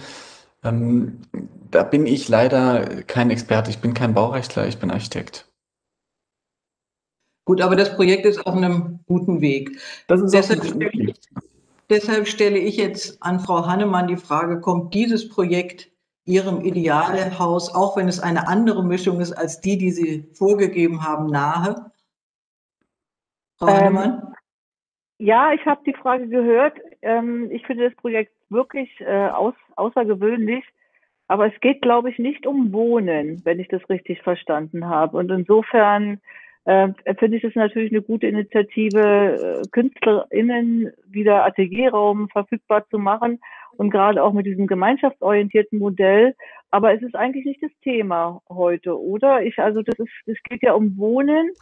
Und nicht nur, nicht nur. Also deshalb muss ich Ihre Frage mit Nein beantworten, weil ich habe ja über das ideale Durcheinanderwohnen äh, im Hochhaus gesprochen, aber ähm, ich kann mir sehr gut äh, vorstellen, dass ich da wohne. Das ist ja eine Festlegung auch äh, äh, durch juristische Dinge, die in den 50er Jahren übrig, äh, im Übrigen in Deutschland gemacht worden sind, was unter Wohnen verstanden wird. Und äh, das ist halt nicht zulässig, aber ich kann mir das sehr gut vorstellen, auch in so einem Haus äh, das zum Wohnen zu nutzen.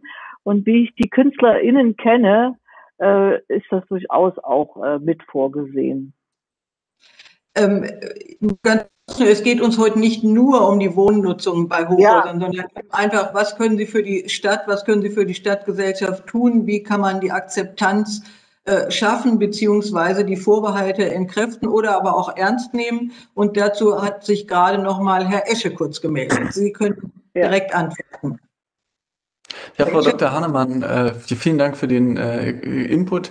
Ich glaube, es geht dann, wenn man über Wohnen spricht, tatsächlich eher um die Frage, wie wir denn auch in Zukunft leben wollen. Genau. Es geht nicht mehr letztendlich darum, möchten wir immer noch mit den, äh, sag ich mal, alten Standards aus den 50er oder 60er Jahren ewig leben oder möchten wir tatsächlich neue Formen von Zusammenleben, neue Formen von Grundrissen und neue Formen von Strukturen ähm, leben. Das bedeutet allerdings auch, dann kann man solche Themen wie dieses Hochhaus, was wir jetzt gerade gezeigt haben, eben ganz leicht auch auf das Wohnen übertragen. Wohnen hat für mich tatsächlich erst einmal oder für uns auch im Kollektiv erst einmal etwas mit Raum zu tun und weniger damit, wie denn jetzt die kleinen Zonen ineinander integriert und äh, differenziert sind. Da geht es darum, Raum zu schaffen und den Raum auch optimal zu nutzen. Und dafür können ganz einfache, pure Rohbau oder veredelte Strukturen eben eine ganz, ganz solide Möglichkeit schaffen und auch durchaus, wie Sie das vorher ganz fein am Anfang eingeleitet haben,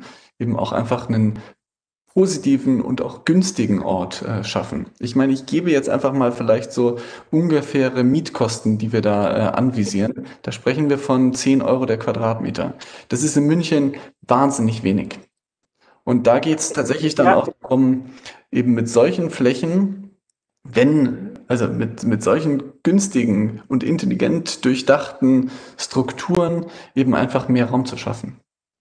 Ja, bin ich ganz, bin ich wirklich ganz bei Ihnen, weil wir diskutieren 2020 noch immer die Kleinwohnungsfrage. Und wir wissen alle, das ist die Frage von äh, 1919, gibt es einen berühmten Aufsatz von Schumacher, die Kleinwohnungsfrage. Und wir, wir lösen uns einfach nicht davon. Und ich sehe Ihr Projekt auch in die Richtung gedacht, weil es eben diese flexiblen Möglichkeiten anbietet.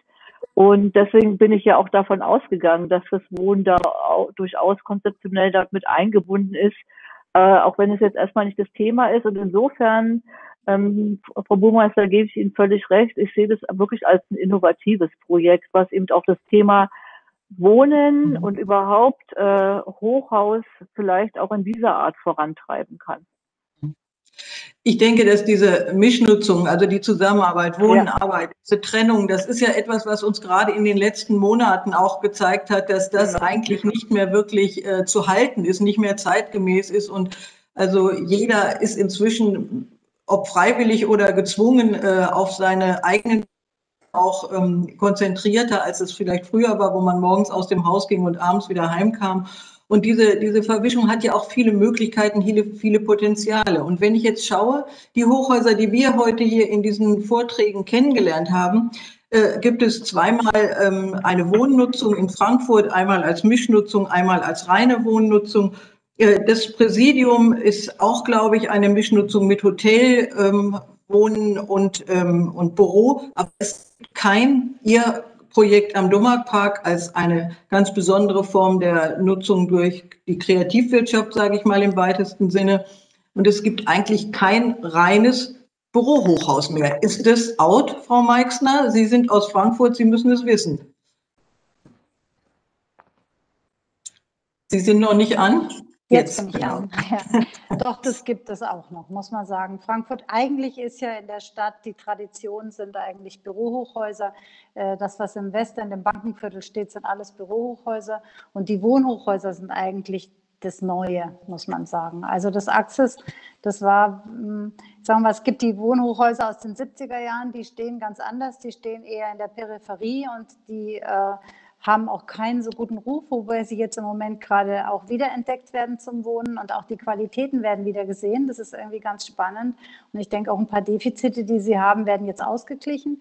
Aber ansonsten ist das Wohnen in der Stadt eigentlich neu, muss man sagen. Und äh, die Bürohochhäuser entstehen weiterhin. Also wir haben jetzt auch ein äh, Bürohochhaus, wo jetzt gerade ein Bauantrag abgegeben wurde, 60 Meter Turm, das, ähm, das gibt es schon weiterhin. Das liegt mehr, das hängt dann immer von der Marktlage ab, muss man sagen. Man muss mal schauen, was jetzt mit Corona passiert und wie viel dann tatsächlich gebraucht wird. Aber ähm, man muss ja sagen, was hier noch gar nicht genannt wurde heute Abend, ist die Tatsache, dass es einfach der Vorteil ist, dass man wenig Boden verbraucht und viel Fläche schaffen kann. Und das ist ja per se erstmal für eine Stadt, wo es eine Dichte gibt, für eine Stadt, wo es einen hohen Druck auf den Grundstücken gibt, auch eine Qualität und auch bezüglich der Nachhaltigkeit eine Qualität. Ja, dass wir nicht viel versiegeln, aber viel Fläche schaffen können. Und wenn man damit mhm. klug umgeht, kann man auch viele äh, positive Aspekte da berücksichtigen bei der Realisierung. Davon gehe ich aus. Ja.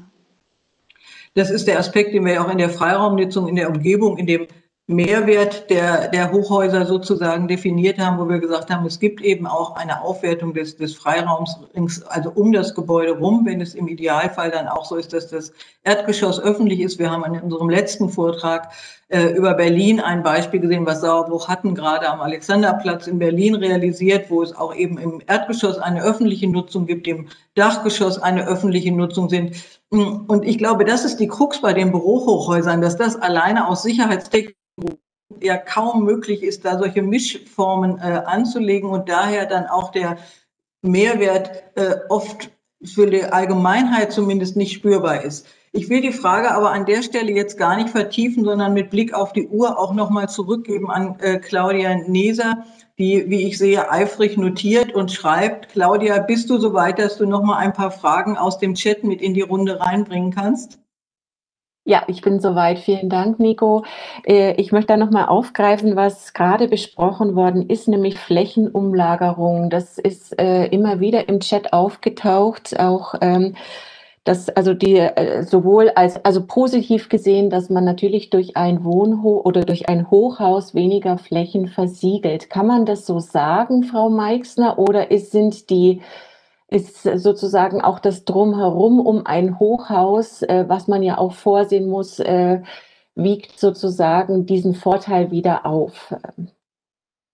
Das kann man so sagen. Das ist auf jeden Fall so. Also eine Flächenausnutzung von so einem Hochhaus ist extrem. Wenn Sie das in vier, fünf Geschossern abbilden wollen, haben Sie ein ganzes Quartier vollgebaut und die Einheiten setzen Sie in ein hohes mhm. Haus. Das ist schon so. Und wie man mit dem Freiraum umgeht, da haben wir ja die Wahl, auch vielleicht mit den Erkenntnissen, die wir heutzutage zur Nachhaltigkeit haben. Die ganze Versiegelungsfrage, die Versickerungsflächen in der Stadt, äh, damit wird auch inzwischen, also unser Alltag ist inzwischen, dass wir mit jedem Projekt dieser Art zum Umweltamt gehen und wir, äh, wir wägen ab, wie versiegelt wird, wie viel und es wird viel mehr auf Grünflächen gesetzt. Und die Möglichkeit hat man, weil die eigentliche versiegelte Fläche ähm, ist tatsächlich viel geringer. Und wie ist es denn mit äh, der Infrastruktur? Also äh, wenn das ist eine Befürchtung auch bei den Hochhäusern, dass man sagt, äh, mehr Menschen auf einer Fläche heißt aber auch äh, mehr Menschen, die äh, mit dem Auto wegfahren und mit dem Auto kommen.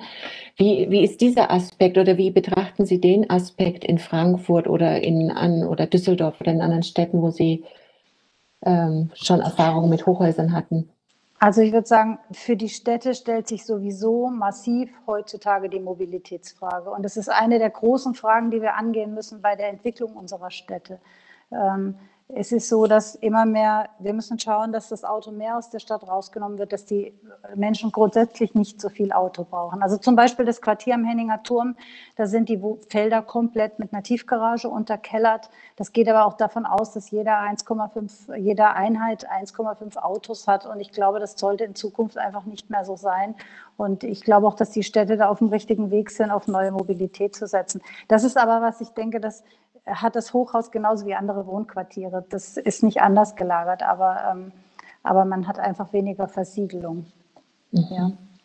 Jetzt würde ich gerne noch ganz kurz bei Ihnen bleiben, Frau Meixner, um nochmal auf die Klimafrage zu sprechen äh, zu kommen. Es wurde äh, geäußert, dass man, also Sorge geäußert bezüglich ähm, der Erwärmung von Hochhäusern. Da haben Sie ja sicherlich schon viele Studien gemacht, also auch dieser, dieser, der Wärmespiegelung der Hochhausflächen. Haben Sie da Erfahrungswerte, die Sie ähm, weitergeben können oder dass Sie sagen, das ist zu vernachlässigen?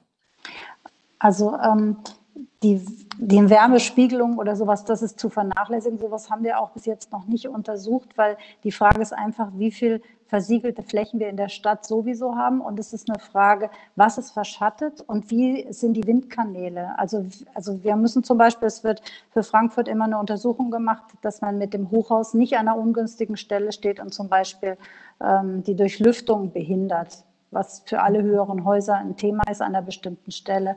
Aber ähm, aber ich denke, dass das letztendlich äh, die Problematik in der Stadt, wo alles versiegelt ist, viel höher ist. Also wenn wir die die öffentlichen Flächen alle versiegelt haben und die Fassadenflächen, dann haben wir das Problem der mhm. Aufheizung in der Stadt. Ja. Mhm. Also ich sage mal so, wenn alle versiegelten Flächen, die wir beim niedrigen Bauen in ein Hochhaus packen, dann begrünt werden, ich glaube, dann ist es die Bilanz vielleicht beim Hochhaus sogar besser, wobei ich jetzt nicht absoluter Spezialist bin, sondern kenne es nur aus, dem, aus meinem Alltag, ja, so wie wir das untersuchen. Das wurde auch im Chat eben auch äh, besprochen, äh, dass man vielleicht mehr Grünflächen kriegt, wenn man sozusagen mehr stapeln würde und damit weniger Flächen versiegelt.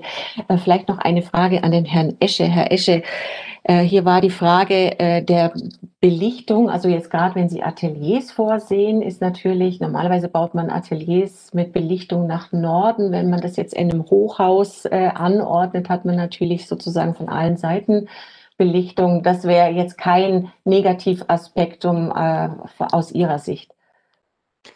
Aus meiner Sicht tatsächlich äh, nicht. Also ich kam ja da auch her, ich kam ja äh, das Jahr vorher habe ich in der Villa Massimo in Rom verbracht. Äh, da haben wir auch wundervolle Ateliers im, äh, mit herrlichem Nordlicht. Und äh, ich kann, ging natürlich mit der Einstellung da rein, dass die Künstlerinnen und Künstler genau diese Nordlichtateliers äh, brauchen. Das ist gar nicht mehr so heutzutage. Mhm. Ähm, da war ich ganz überrascht. Äh, Yongbo Shao, zum Beispiel einer der renommiertesten Münchner Künstler, äh, sprach mich sofort an und sagte, wir brauchen alles, ist uns ganz egal. Ähm, und dann vergisst man auch immer die Vielschichtigkeit, auch die in der Kunst selbst und auch in der Kultur da besteht. Also da gibt es ähm, die Malerei. Natürlich gibt es da in gewisser Form vielleicht auch eher die Anforderung an Nordlicht, aber dann gibt es auch Skulpturen, Musik, Plastik, Grafik und vieles auch, was am Computer tatsächlich heute entsteht. Ähm, unter anderem auch digitale Kunst, digitale Kultur und und und. Und genau dafür kann natürlich auch der Turm in allen seinen vier äh, Seiten auch für jede Art und für jede Form von künstlerischer Tätigkeit auch die idealen Bedingungen schaffen.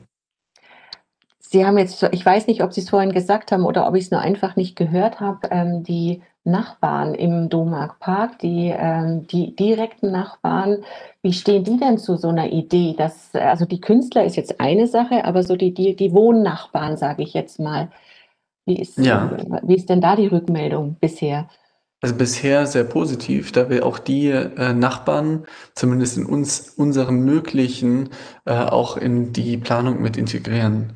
Das ist natürlich jetzt während Corona, das muss man auch sagen, etwas schwieriger. Wir wollten eigentlich eine größere Veranstaltung an der Stelle, ähm, als das damals losging, anvisieren, wo man eben intensiver darüber diskutiert hatte. Aber so verlagert sich das alles in den digitalen Raum. Das heißt, wir führen sehr viele Einzelgespräche und zeigen dann natürlich auch auf, gerade mit einer Schattenstudie, dass dieses, äh, dass gerade die unmittelbare Nachbarschaft, das ist die Stadt München, die Stadt München, die Stadt München und einmal Wagnisart, äh, gar nicht so von diesem Schattenwurf dort betroffen ist, sondern in erster Linie an der Stelle die Autobahnen, die A9. Mhm mit, äh, jetzt weiß ich nicht, wie viele Fragen noch übrig sind mit Blick auf die Zeit, würde ich aber gerne noch zwei Sachen ansprechen, die einfach als Statement gekommen sind, äh, beziehungsweise die einfach ähm, auch immer wiederkehren. Als vorhin gab es die Frage, was sind denn die, die positiven Hochhäuser von München? Da wurde das Hypo-Hochhaus genannt, da wurde das Arabella-Hochhaus genannt, da wurde der Olympia, die Olympia-Hochhäuser genannt, also im Olympi Olympischen Dorf. Äh, Arabella-Hochhaus und ähm, die Hochhäuser im Olympischen Dorf vor allem deshalb, weil es dort diese große Nutzungsmischung gibt. Also gerade im Arabella äh, Haus, ähm, beziehungsweise auch hier bezahlbare, also auch als Beispiel für bezahlbaren Wohnraum. Das ist vielleicht ganz wichtig. Und da kommt man ja auch, wie wir schon gesagt haben, oder vorhin wurden die Züricher Genossenschaftsquartiere zitiert hier, äh, wo es Sharing-Angebote, wo es verschiedene Wohnungstypen gibt. Ich glaube, so diese diese Durchmischung ist ganz wichtig, dass es nicht nur eine Monostruktur ist, sondern eine vielfältige Struktur. Da würde ich an Herrn Escher, der hat sich gemeldet. Ich weiß nicht, ob du ihn siehst, Claudia. Also, das geht nicht gerade. Hast gesehen, okay. Ja, vielleicht noch einmal dazu. Mich hat das ja am Anfang wahnsinnig fasziniert, was Sie gesagt haben, Herr Lorz, dass wir über 200 äh, Hochhäuser in äh, München haben, die allerdings gar nicht im Stadtbild unmittelbar auffallen. Und ich glaube, gerade diese Hochhäuser, die vielleicht im Stadtbild jetzt nicht unmittelbar Leuchtturmprojekte oder nicht nur Leuchtturmprojekte sind, sondern in erster Linie vielleicht gar nicht auffallen, da könnten wir vielleicht auch mal nach Giesing gehen oder oder. Das sind doch die Projekte, die eigentlich eine ideale Stadt ausmachen. Weil wenn sie tatsächlich schon so zur Stadt und so zu dieser Stadtkultur und zu diesem ganzen Miteinander in der Stadt und zu den Quartieren gehören, dann kann doch eigentlich da gar nichts falsch gemacht worden sein. Vielleicht mag Herr Lorz da zum Abschluss noch mal in seinem Ausblick kurz drauf eingehen. Ähm, ich würde jetzt Claudia noch mal zurückgeben äh, die Fragen sind ja zum Teil sehr spezifisch und sehr genau, als wenn die Münchner also wirklich jetzt schon äh, gucken, wie kriegen wir das am besten hin. Und ähm, gibt es sonst noch etwas allgemeinere Fragen, so diese Frage der Identität der Stadt? Also ist es verträglich, ist es nicht verträglich? Diese Frage der Nutzungsmischung, die ja eigentlich eine ist, die ich heute in der Diskussion sehr interessant finde und auch der Trend, wo geht es eigentlich hin äh, in Bezug auf Nutzung, äh, die eben dann auch wirklich öffentliche Nutzung, kulturelle Nutzung, Wohnnutzung und auch Hotel, Büronutzung, alles sozusagen unter ein Dach letztendlich bringen. Gibt es in der Richtung noch Fragen oder Anregungen? Äh, Anreg Anregungen äh, in dem Sinne nicht. Es gibt ein äh, wirklich ein sehr ausgewogenes ähm, Verhältnis zwischen denen, die sagen, wir brauchen das unbedingt zur Ident weil es die Identität stiftend ist. Es tut München gut. Es hat, können, es haben auch andere kleinere, ich sage jetzt mal kleinere Städte in München wie äh, äh, in Deutschland wie Bonn und äh, Hamburg wie Düsseldorf, die trauen sich auch und München soll sich trauen. Das sind die, eins, die einen Stimmen und die anderen sagen, wir haben ja die Berge, die sind identitätsstiftend, die wollen wir nicht verstellen und äh, sind da eher zurückhaltend. Aber wenn ich jetzt so, den, so auf den ersten Blick, es sind unheimlich viele ähm, Kommentare gekommen, also ähnlich wie letztes Mal. Hier ist wirklich eine Welle, ist wieder losgetreten worden sozusagen. Aber es, es, äh, es, man merkt schon auch, dass hier auch so ein bisschen die, die Spannung ist, also so nicht, also im positiven Sinne, dass man sich vielleicht trauen sollte an der einen oder anderen Stelle, aber dass man vielleicht von solchen Clustern und von irgendwelchen Hochbaugebieten absehen soll, aber individuell betrachtet sich vielleicht trauen dürfte. Also die Kontroverse spiegelt sich schon von Hochhausbefürwortern und Hochhausgästen.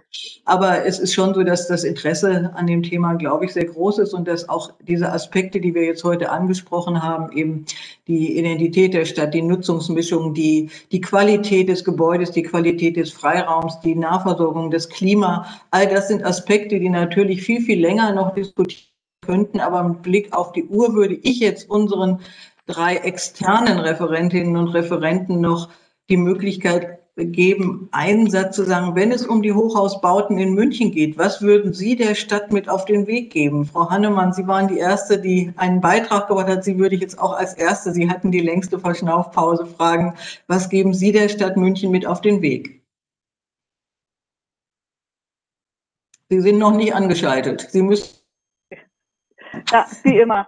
Also, auf jeden Fall sehr spannende Diskussion. Ich würde der Stadt München sehr gerne empfehlen, dass sie sich genauer angucken sollten, welche Hochhäuser warum eine Akzeptanz haben und warum nicht, genau wie wir das jetzt auch herausgearbeitet haben.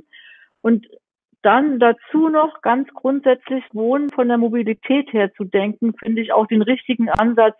Generell, wenn es um das Wohnen geht und natürlich auch um die Hochhäuser, und äh, ich war schon erschrocken, als ich da die, die äh, Parksmöglichkeiten äh, gesehen habe.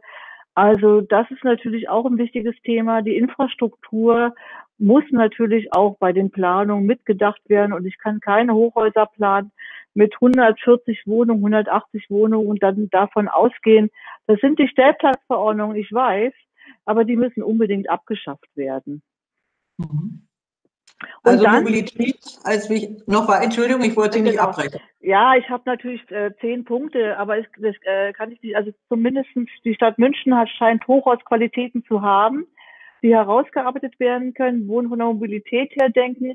Dann die Südlage würde ich gerne diskutieren. Ich meine, dass in Zukunft die Wohnungen in der Südlage nicht mehr nachgefragt sind aufgrund der Klimasituation. Es gibt jetzt gerade bei den heißen Sommern viele Berichte, noch keine Studien richtig, die zeigen, dass in den Wohnungen äh, mit der Südlage über 42 Grad auch nachts äh, sind. Da müssen sich die Menschen wieder alle Klimaanlagen anschaffen, Energieverbrauch und so weiter. Also ich denke, das Thema Norden äh, hat eine ganz neue Diskussion und müsste eben auch bei den äh, Hochhäusern mit berücksichtigt werden. Und das Atelierhaus ist da natürlich ein guter Ansatz. Und was mir fehlte, was ich aber auch gerne noch, ich sollte das ja nennen, man muss das Hochhausthema auch aus der Sicht der Erdgeschosszone diskutieren. Es ist wirklich für mich die Frage, welche Qualitäten hat das Erdgeschoss? Und da haben wir ja gute Aspekte gesehen, gerade eben auch mit diesen Nutzungen, Treppenstufen und so weiter. Also kom kommerzfreie Situationen, das finde ich auch einen ganz wichtigen Aspekt. Und dann finde ich ja, kann man ja solche Veranstaltungen auch super dazu nutzen, um solche Umfragen ja eben mal zu starten. Es gibt ja überall diese Umfragetools. Und vielleicht haben ja die NutzerInnen jetzt oder die uns da zuschauen nochmal, dass sie uns ihr Lieblingswohnhaus zumindest hier mit eingeben oder ihr Lieblingshaus. Das können wir dann, glaube ich, auch schon mal als kleine empirische Erkenntnis mitnehmen. Sehr gut, das nehmen wir jetzt gleich als Aufruf an alle, die noch im Chat sind. Nennen Sie uns Ihr Lieblingshochhaus und vielleicht auch das, wo Sie sagen, da ist es nicht gelungen. Also ich glaube, das wäre eine interessante, ähm, eine interessante Erhebung.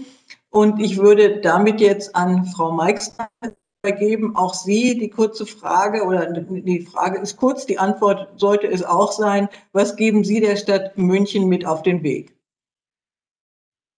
Also es ist ja schon sehr viel genannt worden an Dingen, die man beachten muss. Ich glaube, was ganz wichtig ist, dass äh, von städtischer Seite äh, man sich genau darüber äh, Gedanken macht, was wird geregelt und welche Auflagen bekommt ein Hochhaus, damit es tatsächlich, weil es so viel Aufmerksamkeit hat, auch der Öffentlichkeit wieder was zurückgeben kann. Und das betrifft genau ähm, wie geht man mit den Erdgeschosszonen um, mit den oberen Zonen. Und ich glaube, sowas muss man ganz klar regeln, sonst passiert es auch nicht.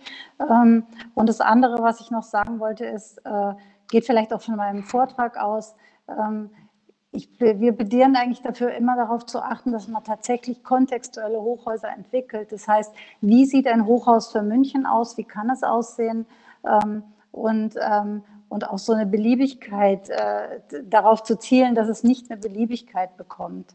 Und ich glaube, da ist es sehr spannend, wenn die Städte auch so etwas entwickeln, was ihnen eigen ist äh, und worauf sie auch sehr lange stolz sein können. Das ist nicht nur jetzt mhm. gerade ähm, im Moment sehr angesagt ist, Hochhäuser zu bauen, sondern dass es bleibende, bleibende ähm, äh, wichtige Elemente der Stadt sind. Und ich glaube, Herr Escher hat ja ein sehr schönes Haus gezeigt, wo man auch einfach sehen kann, innovative Wege zu gehen, auch bei Nutzung ist natürlich super spannend und das geht auch bei Hochhäusern. Ähm, und ich wünsche der Stadt München und den Münchnern Mut dafür.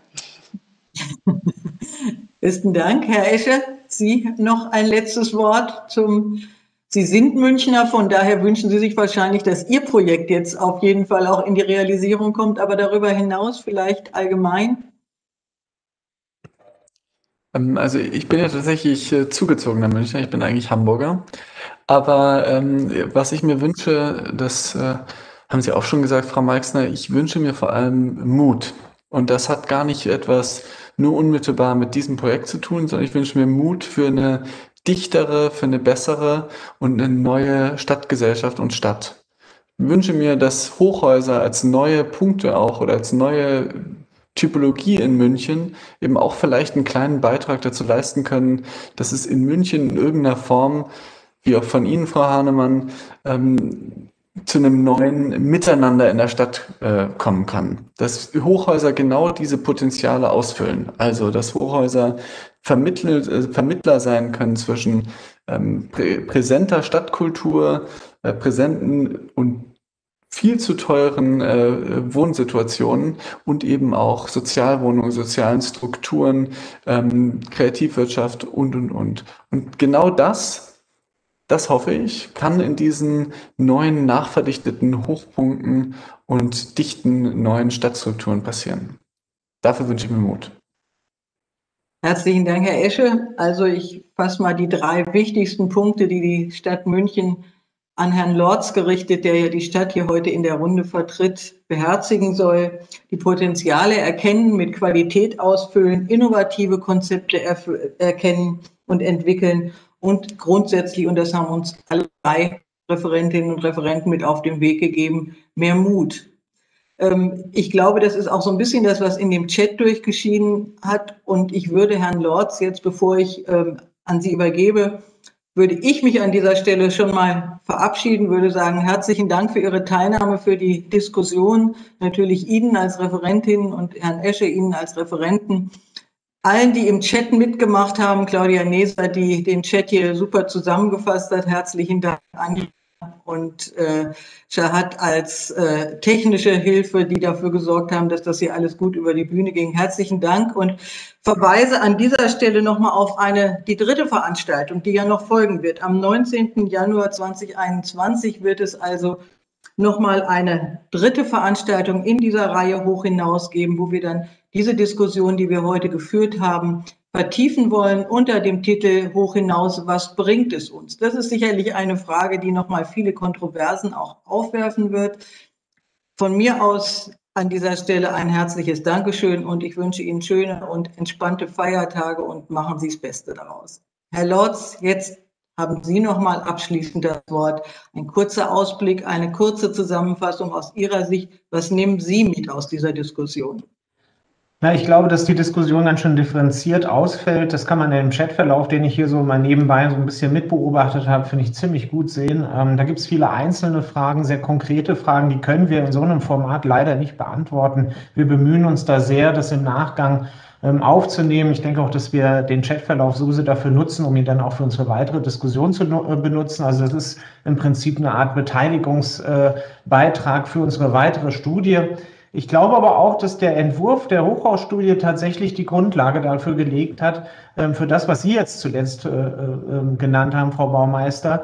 Ähm, und ich glaube auch, dass wir bei den Beiträgen gesehen haben, da müssen wir vielleicht an der einen oder anderen Stelle noch ein bisschen nachschärfen. Das ist aber auch völlig normal. So ein Entwurf kann nicht alles leisten. Also ich sage mal gerade so die sozialwissenschaftlichen Ansätze, die sind in dieser Studie in der Form einfach nicht abgeleistet worden. Und das ist auch wahrscheinlich gar nicht so ohne weiteres möglich. Aber wer weiß, vielleicht kommt man da ja an der einen oder anderen Stelle nochmal ins Gespräch, Frau Professor Hahnemann. Das würde mich auf jeden Fall sehr, sehr freuen, weil tatsächlich sind das Themen, die wir auch weiter betrachten müssen.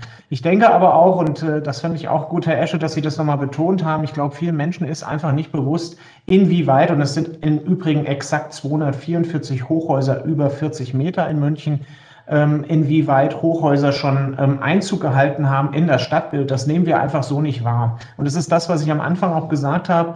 Eine Stadt verändert sich permanent und wir, wir, wir, wir, wir bekommen das eigentlich gar nicht so richtig mit. Wir bekommen das vielleicht an den Einzelprojekten mit, aber wenn man sich mal überlegt, auch so eine große Stadt wie München, wie rasant die sich in den letzten 10, 20 Jahren verändert hat, alleine durch die vielen Bauten, die dazugekommen sind, das ist einfach so. Und ich kann das, ich bin selber gebürtiger Frankfurter, kann das nur immer wieder bestätigen, wenn ich nach Frankfurt komme. Und das ist, sind, äh, leider ist das immer seltener. Ähm, aber dann sieht man natürlich, wie sehr so eine Stadt sich ändert. Und da muss ich ganz ehrlich sagen, und das hatte ich im Vorgespräch auch schon gesagt, Frau Meixner, dass ich den Henninger Turm da ein ganz gelungenes Beispiel dafür finde, wie ein Hochhaus, das einen hohen, ein hohes Identitätspotenzial in der Stadt immer hatte, auch weiterhin in die Zukunft gerettet worden ist. Und ich glaube, wir müssen diese Diskussion tatsächlich mit viel Mut führen, aber wir müssen auch vorsichtig sein. Wir haben tatsächlich auch Dinge, die wir hier in der Stadt bewahren müssen. Ähm, und das muss man eben von Projekt zu Projekt äh, diskutieren, um vielleicht nochmal so ein paar Aspekte aus dieser Diskussion aufzunehmen. Nein, Hochhäuser können die Wohnungsnot in München nicht alleine lindern. Das ist einfach nicht möglich. Ich glaube, das ist auch durchgeschieden. Wir haben eine gewisse Verantwortung gegenüber dem heutig bestehenden Stadtbild und das werden wir auch in Zukunft ähm, bewahren, diese Verantwortung. Also es geht eben auch genau darum, dieses Stadtbild zu bewahren. Das ist ein besonderes, das ist auch meiner Meinung nach deutschlandweit ein besonderes. Und letztendlich äh, muss man sich natürlich auch nochmal mit der Frage auseinandersetzen, ähm, inwieweit Hochhäuser einen Beitrag zu dem Thema ähm, Klimawandel beitragen können tatsächlich. Aber das muss man weit gefasster führen und nicht nur an den Einzelprojekten, finde ich. Ähm, ich glaube, wir sind da sehr gut in der Diskussion aufgestellt. Ich kann mich an der Stelle auch nur für die vielen Chat-Beiträge Beiträge bedanken. Die sind also wirklich äh, sehr breit aufgestellt, sehr differenziert aufgestellt gewesen. Und ich hoffe, dass wir hier weiter im Gespräch bleiben. Ich mag mich aber auch natürlich sehr gerne bei den Referentinnen und den Referenten bedanken.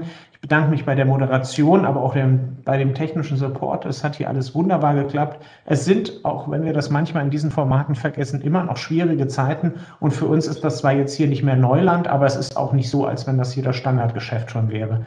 Also an dieser Stelle, glaube ich, können wir mit gutem Gewissen sagen, dass wir einen guten Schritt vorangekommen sind in der Diskussion. Und ich hoffe, dass wir bei der nächsten Diskussion im Januar dann einen weiteren Step machen, um die Diskussion aufzufächern. Wir führen parallel zu dieser öffentlichen Diskussion auch die Diskussion in den Bezirksausschüssen. Wir werden die Fachdiskussion noch weiter vertiefen, eben auch abhängig von den Pandemiebedingungen natürlich, aber wir werden weitere Formate anbieten und wir werden ähm, wahrscheinlich im Sommer, aber vielleicht dann auch erst im Herbst, je nachdem, wie die Diskussion verläuft, eine Stadtratsvorlage erstellen, die dann auch die Inhalte dieser Diskussion beleuchten werden und dem Stadtrat die Möglichkeit geben, eine Entscheidung zu treffen, die hoffentlich für die Landeshauptstadt auch in die Zukunft gerichtet die beste Lösung ähm, erzeugen wird. An dieser Stelle also nochmal vielen herzlichen Dank. Bleiben Sie gesund, ein schönes Weihnachtsfest und ich hoffe, dass wir uns im nächsten Jahr genauso wiedersehen. Vielen Dank.